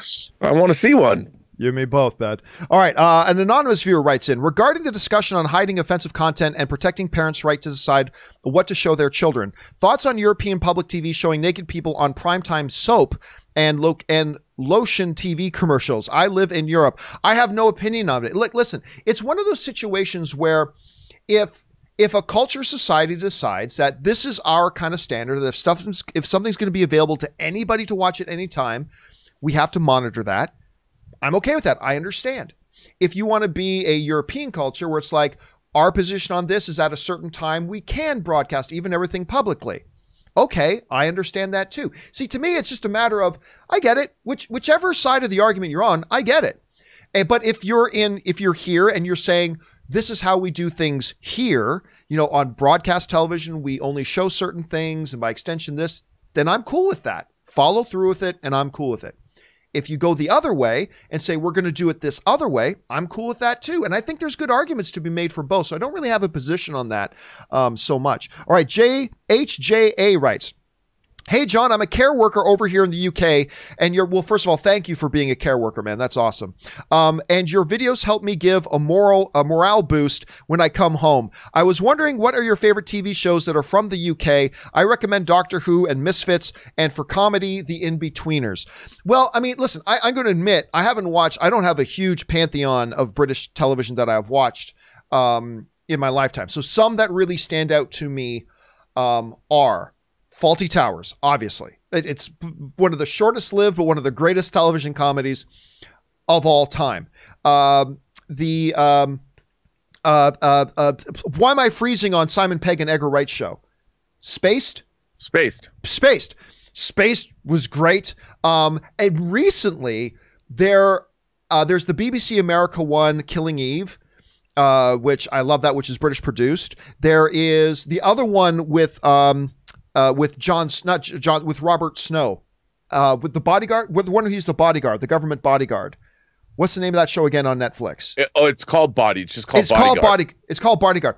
That was a real surprise. So I'm not it. fully fluent on a lot of UK television stuff, but some of the stuff I have seen and really like. Rob, I, I you you've watched a little bit more of that stuff than I do. Do you have any particular British produced television stuff that really stands out to you? Well, most of it's you know older stuff like The Prisoner and things like that. But you know, there's so many great BBC shows. I've been watching a lot of the Harlan Coben mysteries that are being produced, like the 10 episode things that are on Netflix that they're that are based on his books. And they're all pretty good. You know, they're all British shows and they're usually 10 part shows, but um, those are the things I've been watching the most of.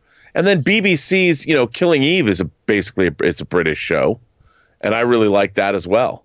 I love Killing Eve. I, I, I I was too. so I didn't think it looked all that good, and then I watched the first like two episodes, and I'm like, I'm hooked.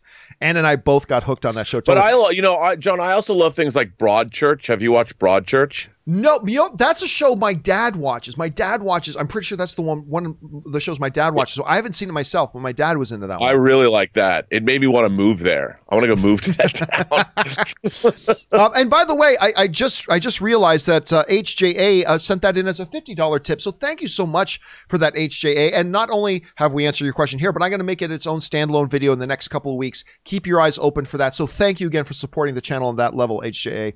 All right, uh, Harry Rayhausen. There you go, Rob. We got Harry Rayhausen writing in. Uh, could Deadpool be brought into the MCU via Doctor Strange? Maybe Strange goes into the multiverse and he takes Deadpool out uh, to the X Men universe and into the MCU. Of, of course, in theory, you could do that, but it all comes back to Rob. It's just nobody ever wants to believe Kevin Feige. Um, Kevin Feige made a very definitive statement when the whole deal was going down about X Men and, and Fox getting acquired by Disney. Kevin Feige put out a very definitive statement that nobody believed, and everybody believes like the next MCU movie we're going to get X Men, the next one's going to get X Men, the next we're going to see X Men post credit scene and Endgame and all that kind of stuff. Kevin Feige made it pretty clear. Listen, I've got five years planned right now. I've got the next five years planned, and we will work. We will deal with X Men when it comes time to deal with X Men. But he's not going to change his entire thing for do- his Doctor Strange movie because now we got to introduce X Men.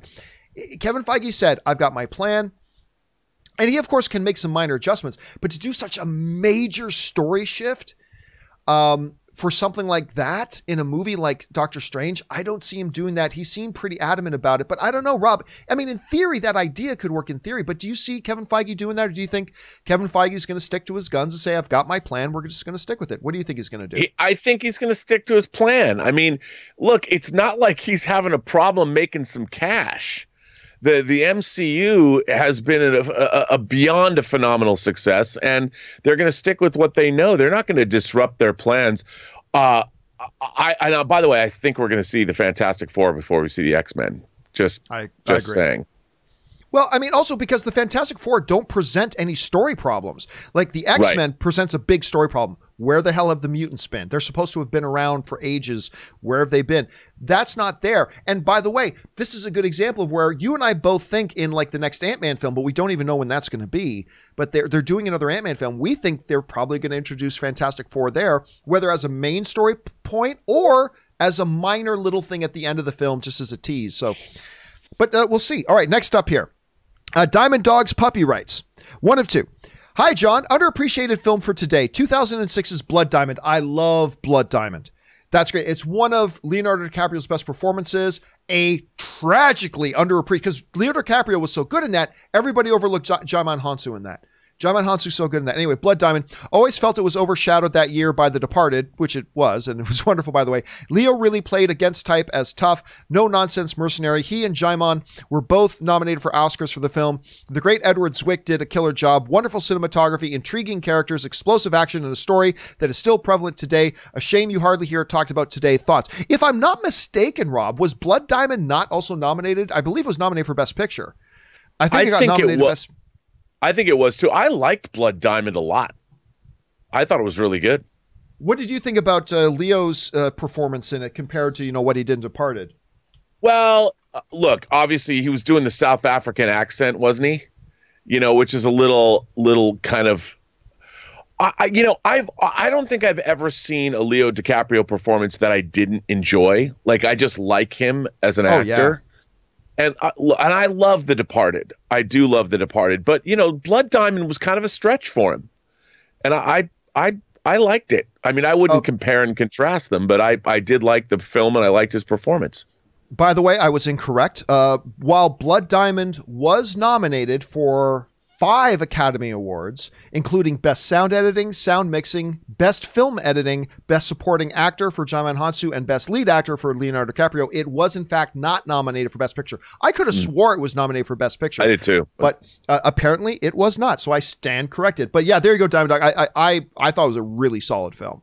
I don't like it as much as The Departed, but it's a Blood Diamond is a really, really good film. All right. Uh, next up, GM writes. Coming soon, Star Wars. Uh, yeah, anyway. Uh, Diamond Dogs Puppy writes Hey, also, John, I will have to be one of the insufferable voices joining the choir, the choir of Ozark. It is truly amazing. Where are you at on your rewatch attempt, Diamond Dog? Over and out. Uh, I, I, I have not gotten around to it. Like, uh, it's, it's pretty far down my list, but it is on my list. Like, for those of you who don't know what he's talking about, I, Anne and I binged the first like three or four episodes of Ozark because we're really big fans of Jason Bateman. Um, and we thought it looked interesting, and it just wasn't for us, and so we tapped out on it. And I haven't seen anything of it since the first few episodes. But so many people love this show now, and so many people are writing in that I think Ann and I have both kind of agreed that at some point we're going to sit down and pick it back up again and see if maybe we get back. Because honestly, I didn't like the first episode of Legion, and I ditched on the show after the first episode.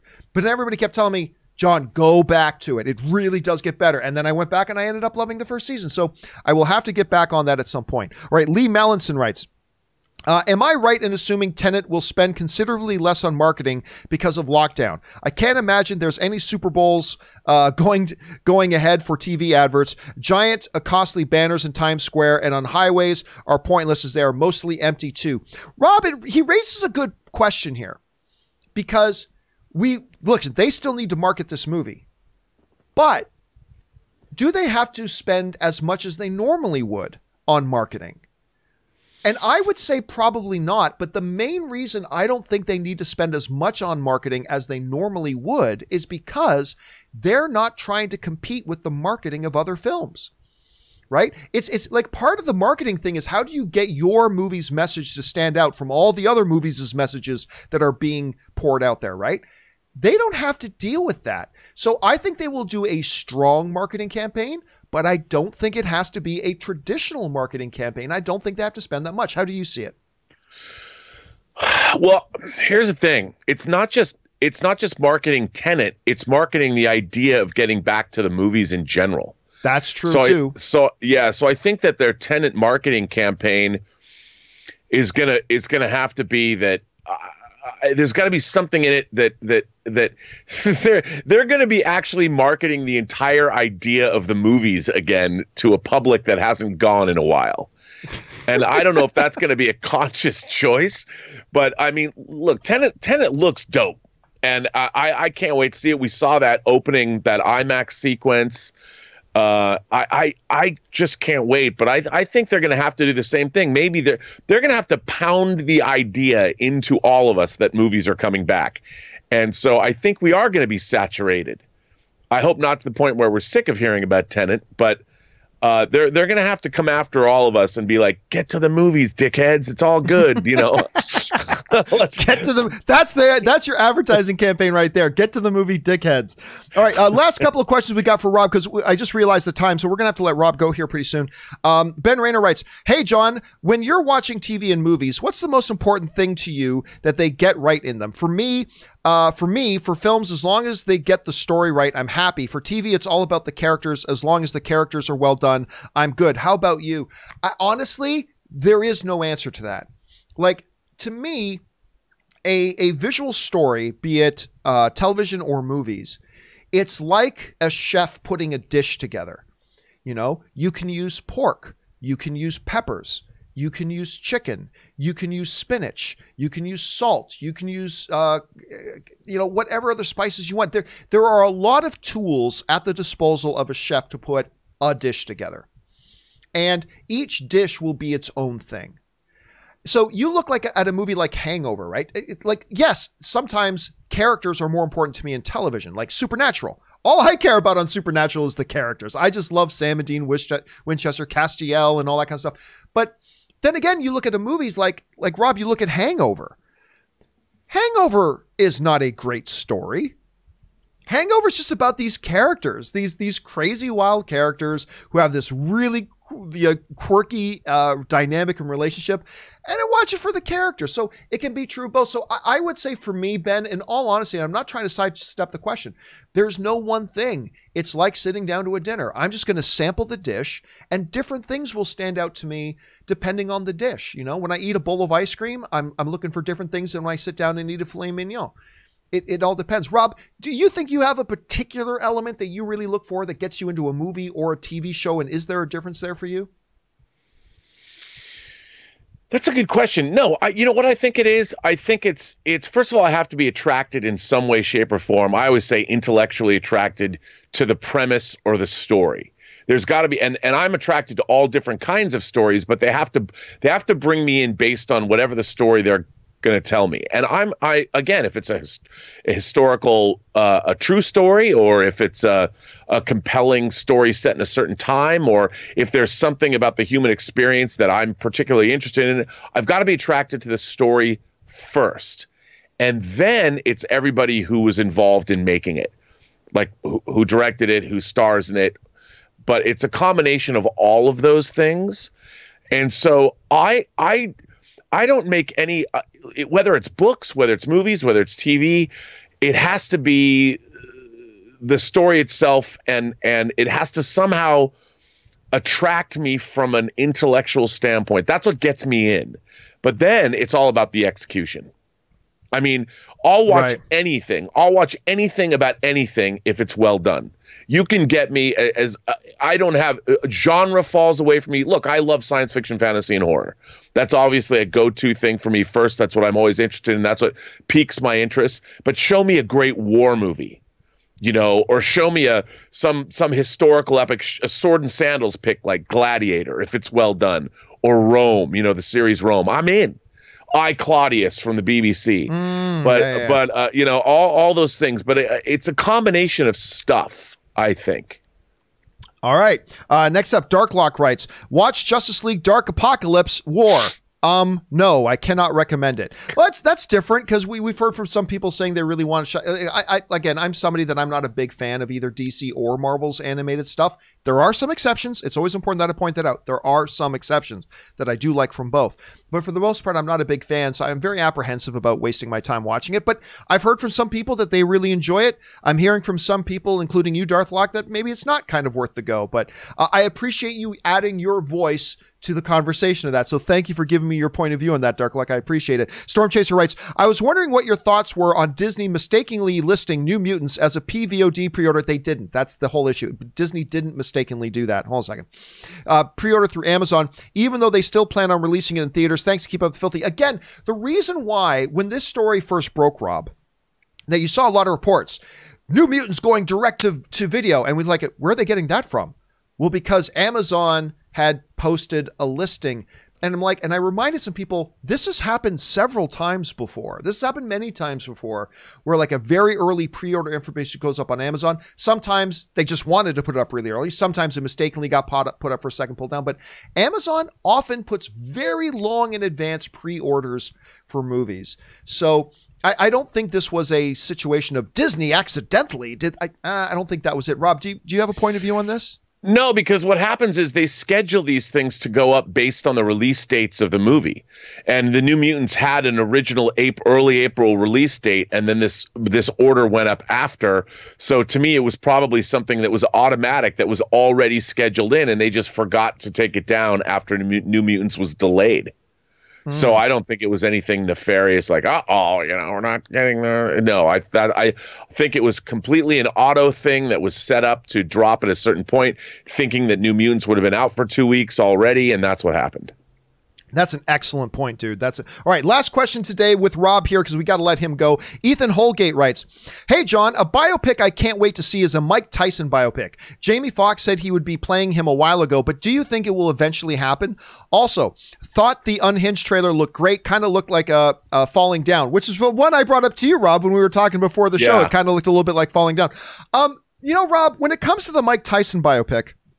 Pardon me, my my thoughts on it has always been, I'd be surprised if it actually happens, and the reason I'd be surprised if it actually happens, and I'd be interested in it, but the reason I'd be surprised if it actually happens is the same reason that I would be surprised if a Michael Jackson biopic ever actually happens, because there are some very controversial elements surrounding Mike Tyson Mm-hmm. that if that I'm not so sure like there's no way to properly portray it because you portray particularly stuff with his ex if you portray it one way you're going to piss off half the people who think you're covering something up if you portray it another way you're going to piss off the other half of, half of the people who think you're doing something unfairly and it just puts you as a filmmaker that, that's why when it comes to a michael jackson biopic i, I say if i'm an executive i don't greenlight it because i don't see a win i don't see a path to a win in that situation. Every path leads to a loss.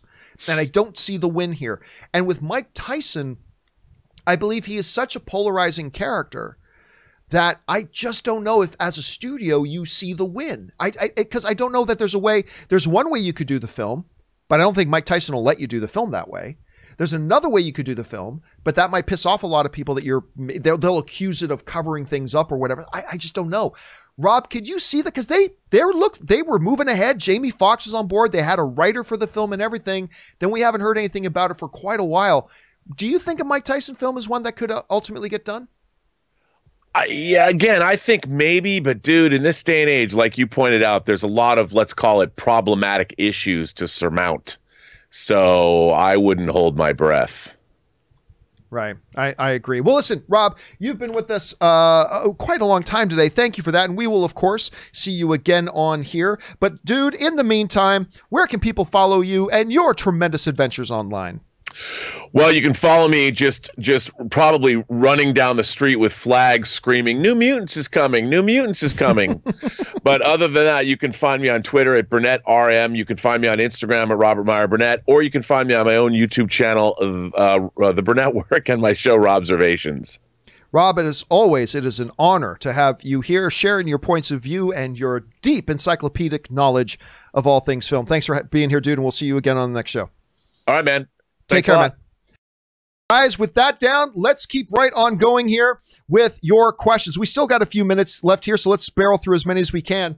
Uh, Kevin Rubio writes, uh, Kevin Rubio writes in, Rob may be fully accessorized, but it's all one sixth scale. Indeed, it is. He was talking to me just before we started the show about uh, some new one sixth stuff he just ordered. You know, he and I got to get back to I think once a week we should get back to Rob showing off one of his one six scale collection every week. We should do that. We used to do that when we were doing heroes. We should do that again because I think that was a great idea. All right, uh, anonymous viewer writes, this whole debate. Um, of what's considered appropriate on Disney Plus is very fascinating. Myself, uh, allow my kids to see family friendly movies, but movies like the MCU that have a strong PG 13 language, like shit or son of a bitch, that I can't show my little kids under 13. Uh, he goes on to say, uh, even showing some nudity, I find a little issue. I find a little issue for those ages in my family at least. I'm trying to do the best I can. Even some movies that are family friendly are pretty scary, like Return to Oz. That's true too. I uh, hope you guys have a great day and stay safe. Hashtag bring on the filthy. And Anonymous, I think you raise a great point that I, that I think a lot of people struggle with. Everybody, all parents, I believe, uh, not being a parent myself, but all parents, I believe, are very different and unique in, in what do they consider appropriate for their kid. And I always find it funny that everybody has an opinion about what other people should do with their kids. Uh, Anyway, uh, I have no opinion what somebody else should do as a parent with their kids. Uh, you do what you feel is best for your kids. But at any rate, I think you're, you're expressing what a lot of parents would say like like we're we're just figuring this out ourselves we're trying to figure out what are we comfortable with showing our kids or not which is why i understand disney plus's position that they're like look we want to be a service where any parent can feel comfortable leaving the room with their kid watching Disney Plus, and they don't have to worry about what we're going to be dropping on the screen. I understand that position. I understand it if they did it a different way too, but I get where they're coming from because there are a lot of parents that struggle with that and are trying to figure out what they want for their kids. And for Disney Plus to say, hey, folks, we have a product for you. We have our network, Disney Plus, that we feel you can feel safe letting kids sit down. But you bring up another interesting point here, Anonymous. An issue that comes up a lot is scary stuff in movies. Right? There's some PG and PG 13 stuff. Like, for instance, Toy Story 3. Some parents felt like that whole incinerator scene might have been a little bit too intense for kids. And maybe there should have been a little bit of a stronger warning on that. So there are a million different aspects. And I, I, think, Anonymous, you're just doing the best you can. And I think you reflect a lot of parents that are just trying to figure it out for themselves. What are they comfortable with? What are they not? And it's it's uh, it's a challenging thing, man. I can't even imagine. I can't even imagine.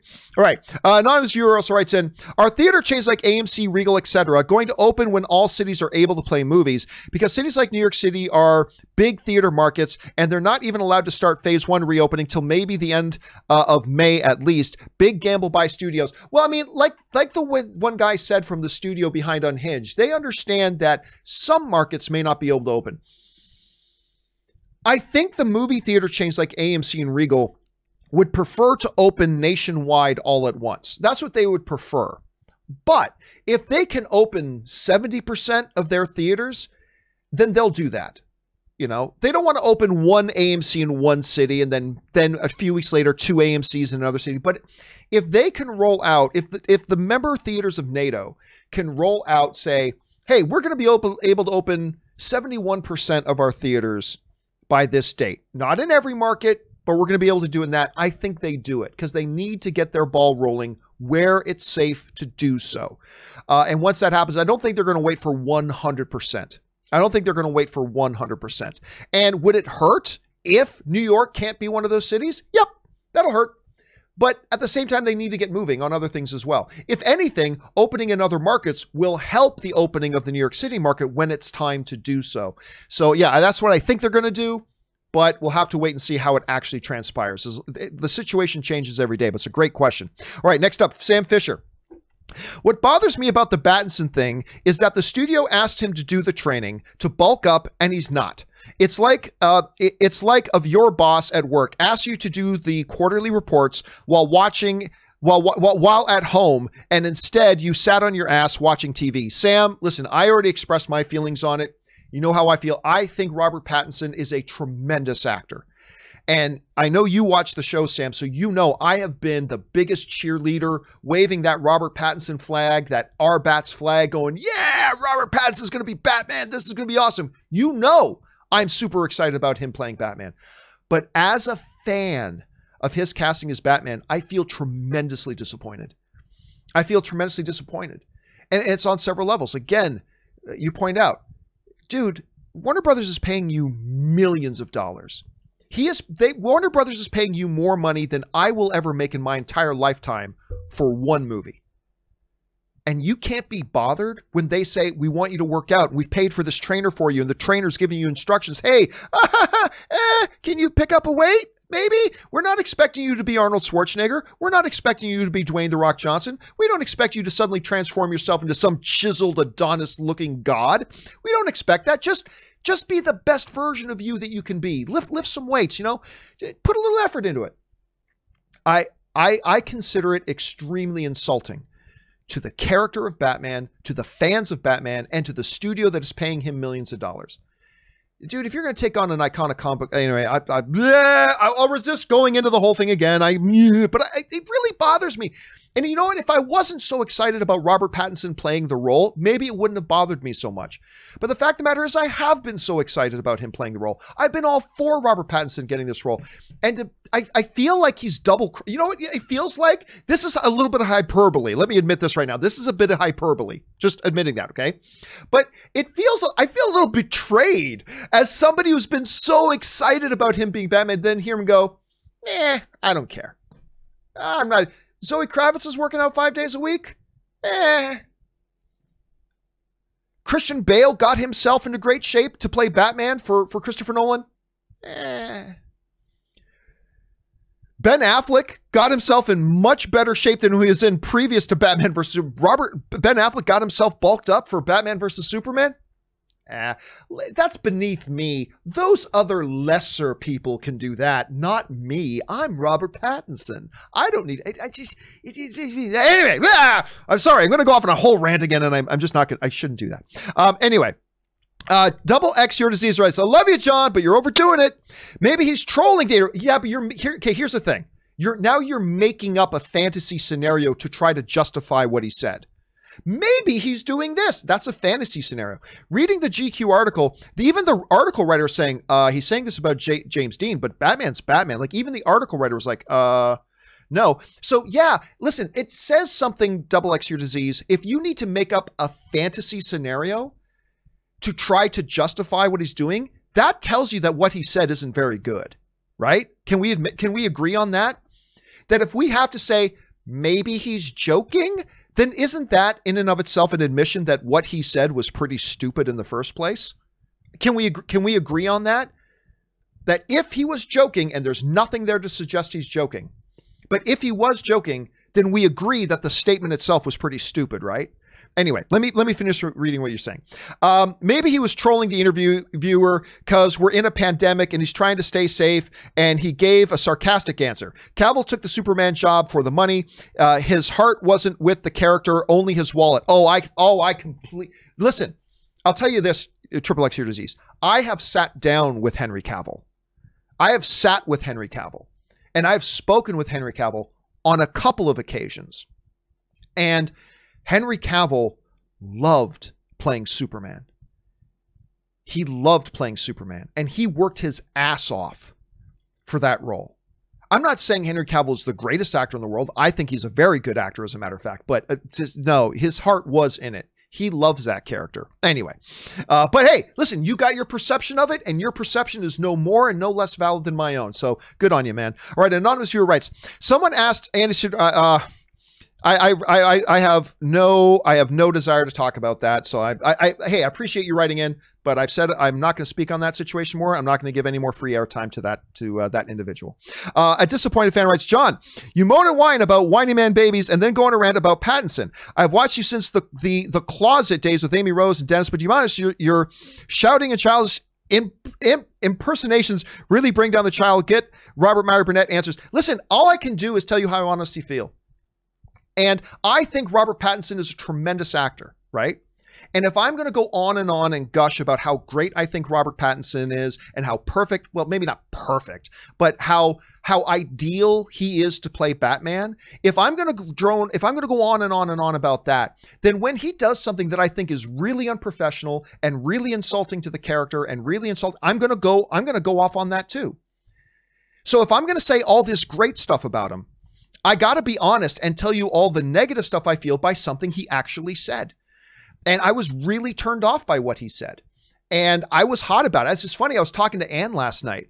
Uh, when I read all this stuff, I was talking to Anne and I was telling her, I'm really hot about this because in, in terms of movies, we're talking about movies. This is first world problems, ladies and gentlemen. This is totally first world problems.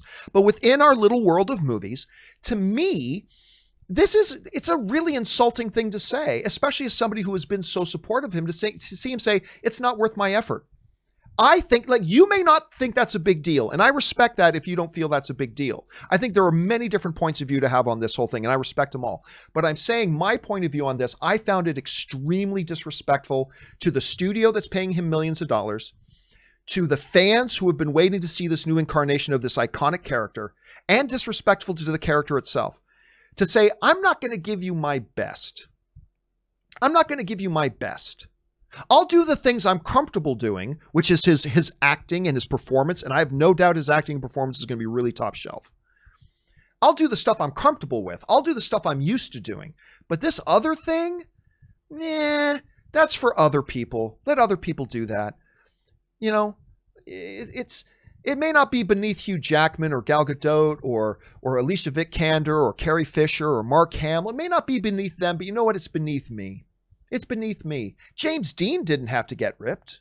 You know, I find that when you are in a position of privilege, like he is in, when you're in a position of incredible wealth and privilege to do what tens of thousands of other performers and actors only dream about doing, and when you're given that blessing, when you're given that opportunity to not say, I am going to do whatever you need me to do to bring the very best that I can. And if that means working out a little bit I'm going to work out. If that means you're sending trainers over to my house, I'm going to work out then. I'm not going to ignore your trainers.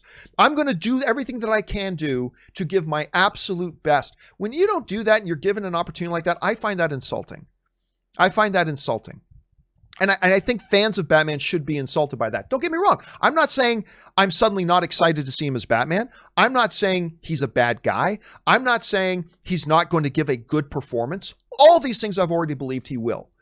But I, I found that attitude not giving 100% to do something you're not normally comfortable doing when you've been given a trust by the fans, when you've been given millions of dollars by a studio, and you're given the care, the stewardship of an iconic character like Batman, I find that insulting.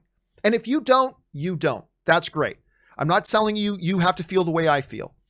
But I, I really do find it insulting, especially as somebody who's been the who's been the biggest supporter of Robert Pattinson as Batman. I, I find it insulting. But that's just me. All right. Uh, Casper Arrow writes. Oh shit, we're almost out of time. Uh, Casper Arrow writes, "Hello, John. Just hear me out and let me ramble for a minute regarding Disney Plus and censorship.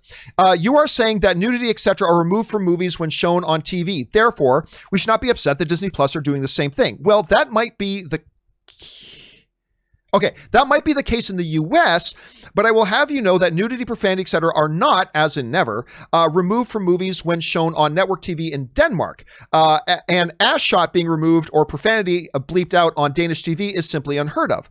Uh, so what I'm saying is, I know it's not exactly censorship, but it's so against the culture and norm of certain European countries to edit movies in a way that removes nudity and profanity. That's why it's such a big thing slash problem. I hope it makes sense. No, it does make sense, and that's why I was saying earlier that like in other countries, like even in Canada, like on Disney Plus, they're showing an ass shot on Disney Plus in Canada.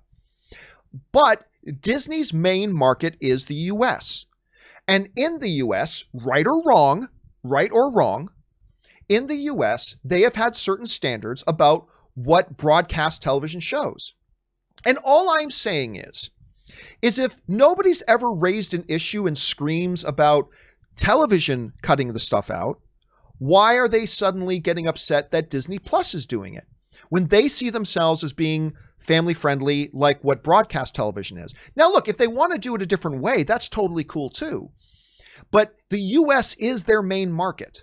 And in the US, right or wrong, their standards are there's certain things you don't show on publicly broadcast television that, that kids can watch. And so Disney simply is doing what these other movies have always done. So it's fine. I understand they do it differently in different countries, and that's great. And I'm not saying one is right and one is wrong, but I'm saying Disney Plus's main market is the United States. And they're a United States based company. And here the standards are a little bit different. So they've determined that they want their product to be something that parents can let their kids watch without having to worry or monitor them monitor them watching that network. And if they didn't do that, I'd be fine with it. They are doing it, and I'm fine with that too. And if you're going to be in the United States and you don't have an issue with CBS, you know, modifying a movie for to be safe for broadcast, I don't see why there's any reason to be upset that Disney is doing it, especially when you can still go and watch that shot of a splash everywhere else that still has the bare ass shot. Anyway, I hear what you're saying, and I agree. I'm just saying there there are different standards in different countries. Whether there should or shouldn't be is up for debate. Uh, whether it's not an issue about which country is right and which country is wrong. The fact of the matter is that different countries and cultures have different standards. And so Disney is just doing what the standards have kind of been in their country. That's all I'm kind of saying. That's all I'm kind of saying. All right, last question of the day. Um, uh, let's see. Uh, Bob the fart tart guy writes, irony. You're grilling Robert Pattinson on his birthday. Is it his birthday? Uh, well, I should have I should have started off by saying happy birthday. Because despite my angry rant, I am a fan of Robert Pattinson, which makes it extra hurtful. The fact that I am a fan makes it hurtful. A uh, question: Would you rather see a Robert Pattinson Batman or have had Affleck return had he not been dealing with his own demons? Well, okay. To be honest, I would rather have seen Ben Affleck come back because the, the problem here is that the Batman iteration that Ben Affleck gave us was different from Batman versus Superman to Justice League, right? They were two different Batmen. I was not a huge fan of the Batman we got in Justice League because in Batman versus Superman, the first movie that he did as Batman, it was the only movie version of Batman I had ever seen that understood that Bruce Wayne was the fake, that Bruce Wayne was the fake mask, and Batman was the true individual. Right? Every other it- iteration, even the great Batman movies, every other iteration always played it that Batman, or that Bruce Wayne was the guy, and then he puts on this persona of Batman. But at his core, he's really Bruce Wayne. He just puts on this persona of Batman. Ben Affleck's Batman in Batman versus Superman, one of the reasons it always impressed me so much was it understood that Bruce Wayne died. Uh, uh what's uh, uh, theoretically, Bruce Wayne, uh, metaphorically died in that alley with his mom and dad, and the Batman was born. A, a, a creature born of pain and vengeance and justice. And the way that Zack Snyder and Ben Affleck chose to portray that Batman was behind, when he's not around other people, he was Batman. And then when he would go out in front of people, he'd put on the mask of Bruce Wayne. And while I'm not saying that Batman versus Superman was a better Batman movie than The Dark Knight, obviously not, but I am saying that one element I really felt they captured. And because of that, I would like to see them do it. Listen, if you're going to ask me, you know, I'm a big fan of Ben Affleck. If you were to ask me, who do I think is the better actor? I think the better actor is actually Robert Pattinson. Um, even though I respect Ben Affleck as an actor very much. But I think if I had my choice, yeah, I would love to see Ben come back and play play and direct a Batman movie. But we don't. And so we got Robert Pattinson playing him, who's a terrific actor, and we got Matt Reeves directing, who's a terrific uh, actor. So in the absence of Ben Affleck doing both, I think we got a pretty good situation. So we'll just have to see how that all kind of turns out. All right, listen, guys, we have run out of time here. I've already gone overtime, so there are still a bunch of questions to get to. So do not worry. We are going to do a companion video a little bit later today. We will get through all the rest of the questions that got sent in. We pretty much got through all the the tip questions that came in. So we will just finish off the last one or two tip questions questions, and then we will do all the super chat questions in a companion video a little bit later. We've already gone over two hours. Guys, Thank you so much for being here for this installment of the John Campea Show. It is an honor and a privilege that you guys choose to spend a part of your day here with us as we talk about our favorite things in the world, movies and movies, all kind of stuff. Special thank you to all you guys who sent in the questions for two reasons. Number one, you gave us great fun things to talk about. Number two, you supported the channel while you did it, and all of us here on the John Campea YouTube channel Thank you for that. And of course, a special thank you to Robert Meyer Burnett for always bringing his expertise. And I love it when he and I have different points of view as well, so we get to debate those. So that's always great to have, as all of us as film fans have different points of views on different issues. So, guys, make sure whether you're talking to the chat uh, section of this video, whether you're off on Twitter talking to each other, make sure that, guys, when you're talking to each other, you understand that you're talking to fellow film fans together. Have some debate, have some disagreements, but just do so understanding you're talking to fellow film fans while you're doing it. All right, guys, that will do it for me for today. Thank you so much for being here. My name is John Campea, and until tomorrow, guys, bye bye.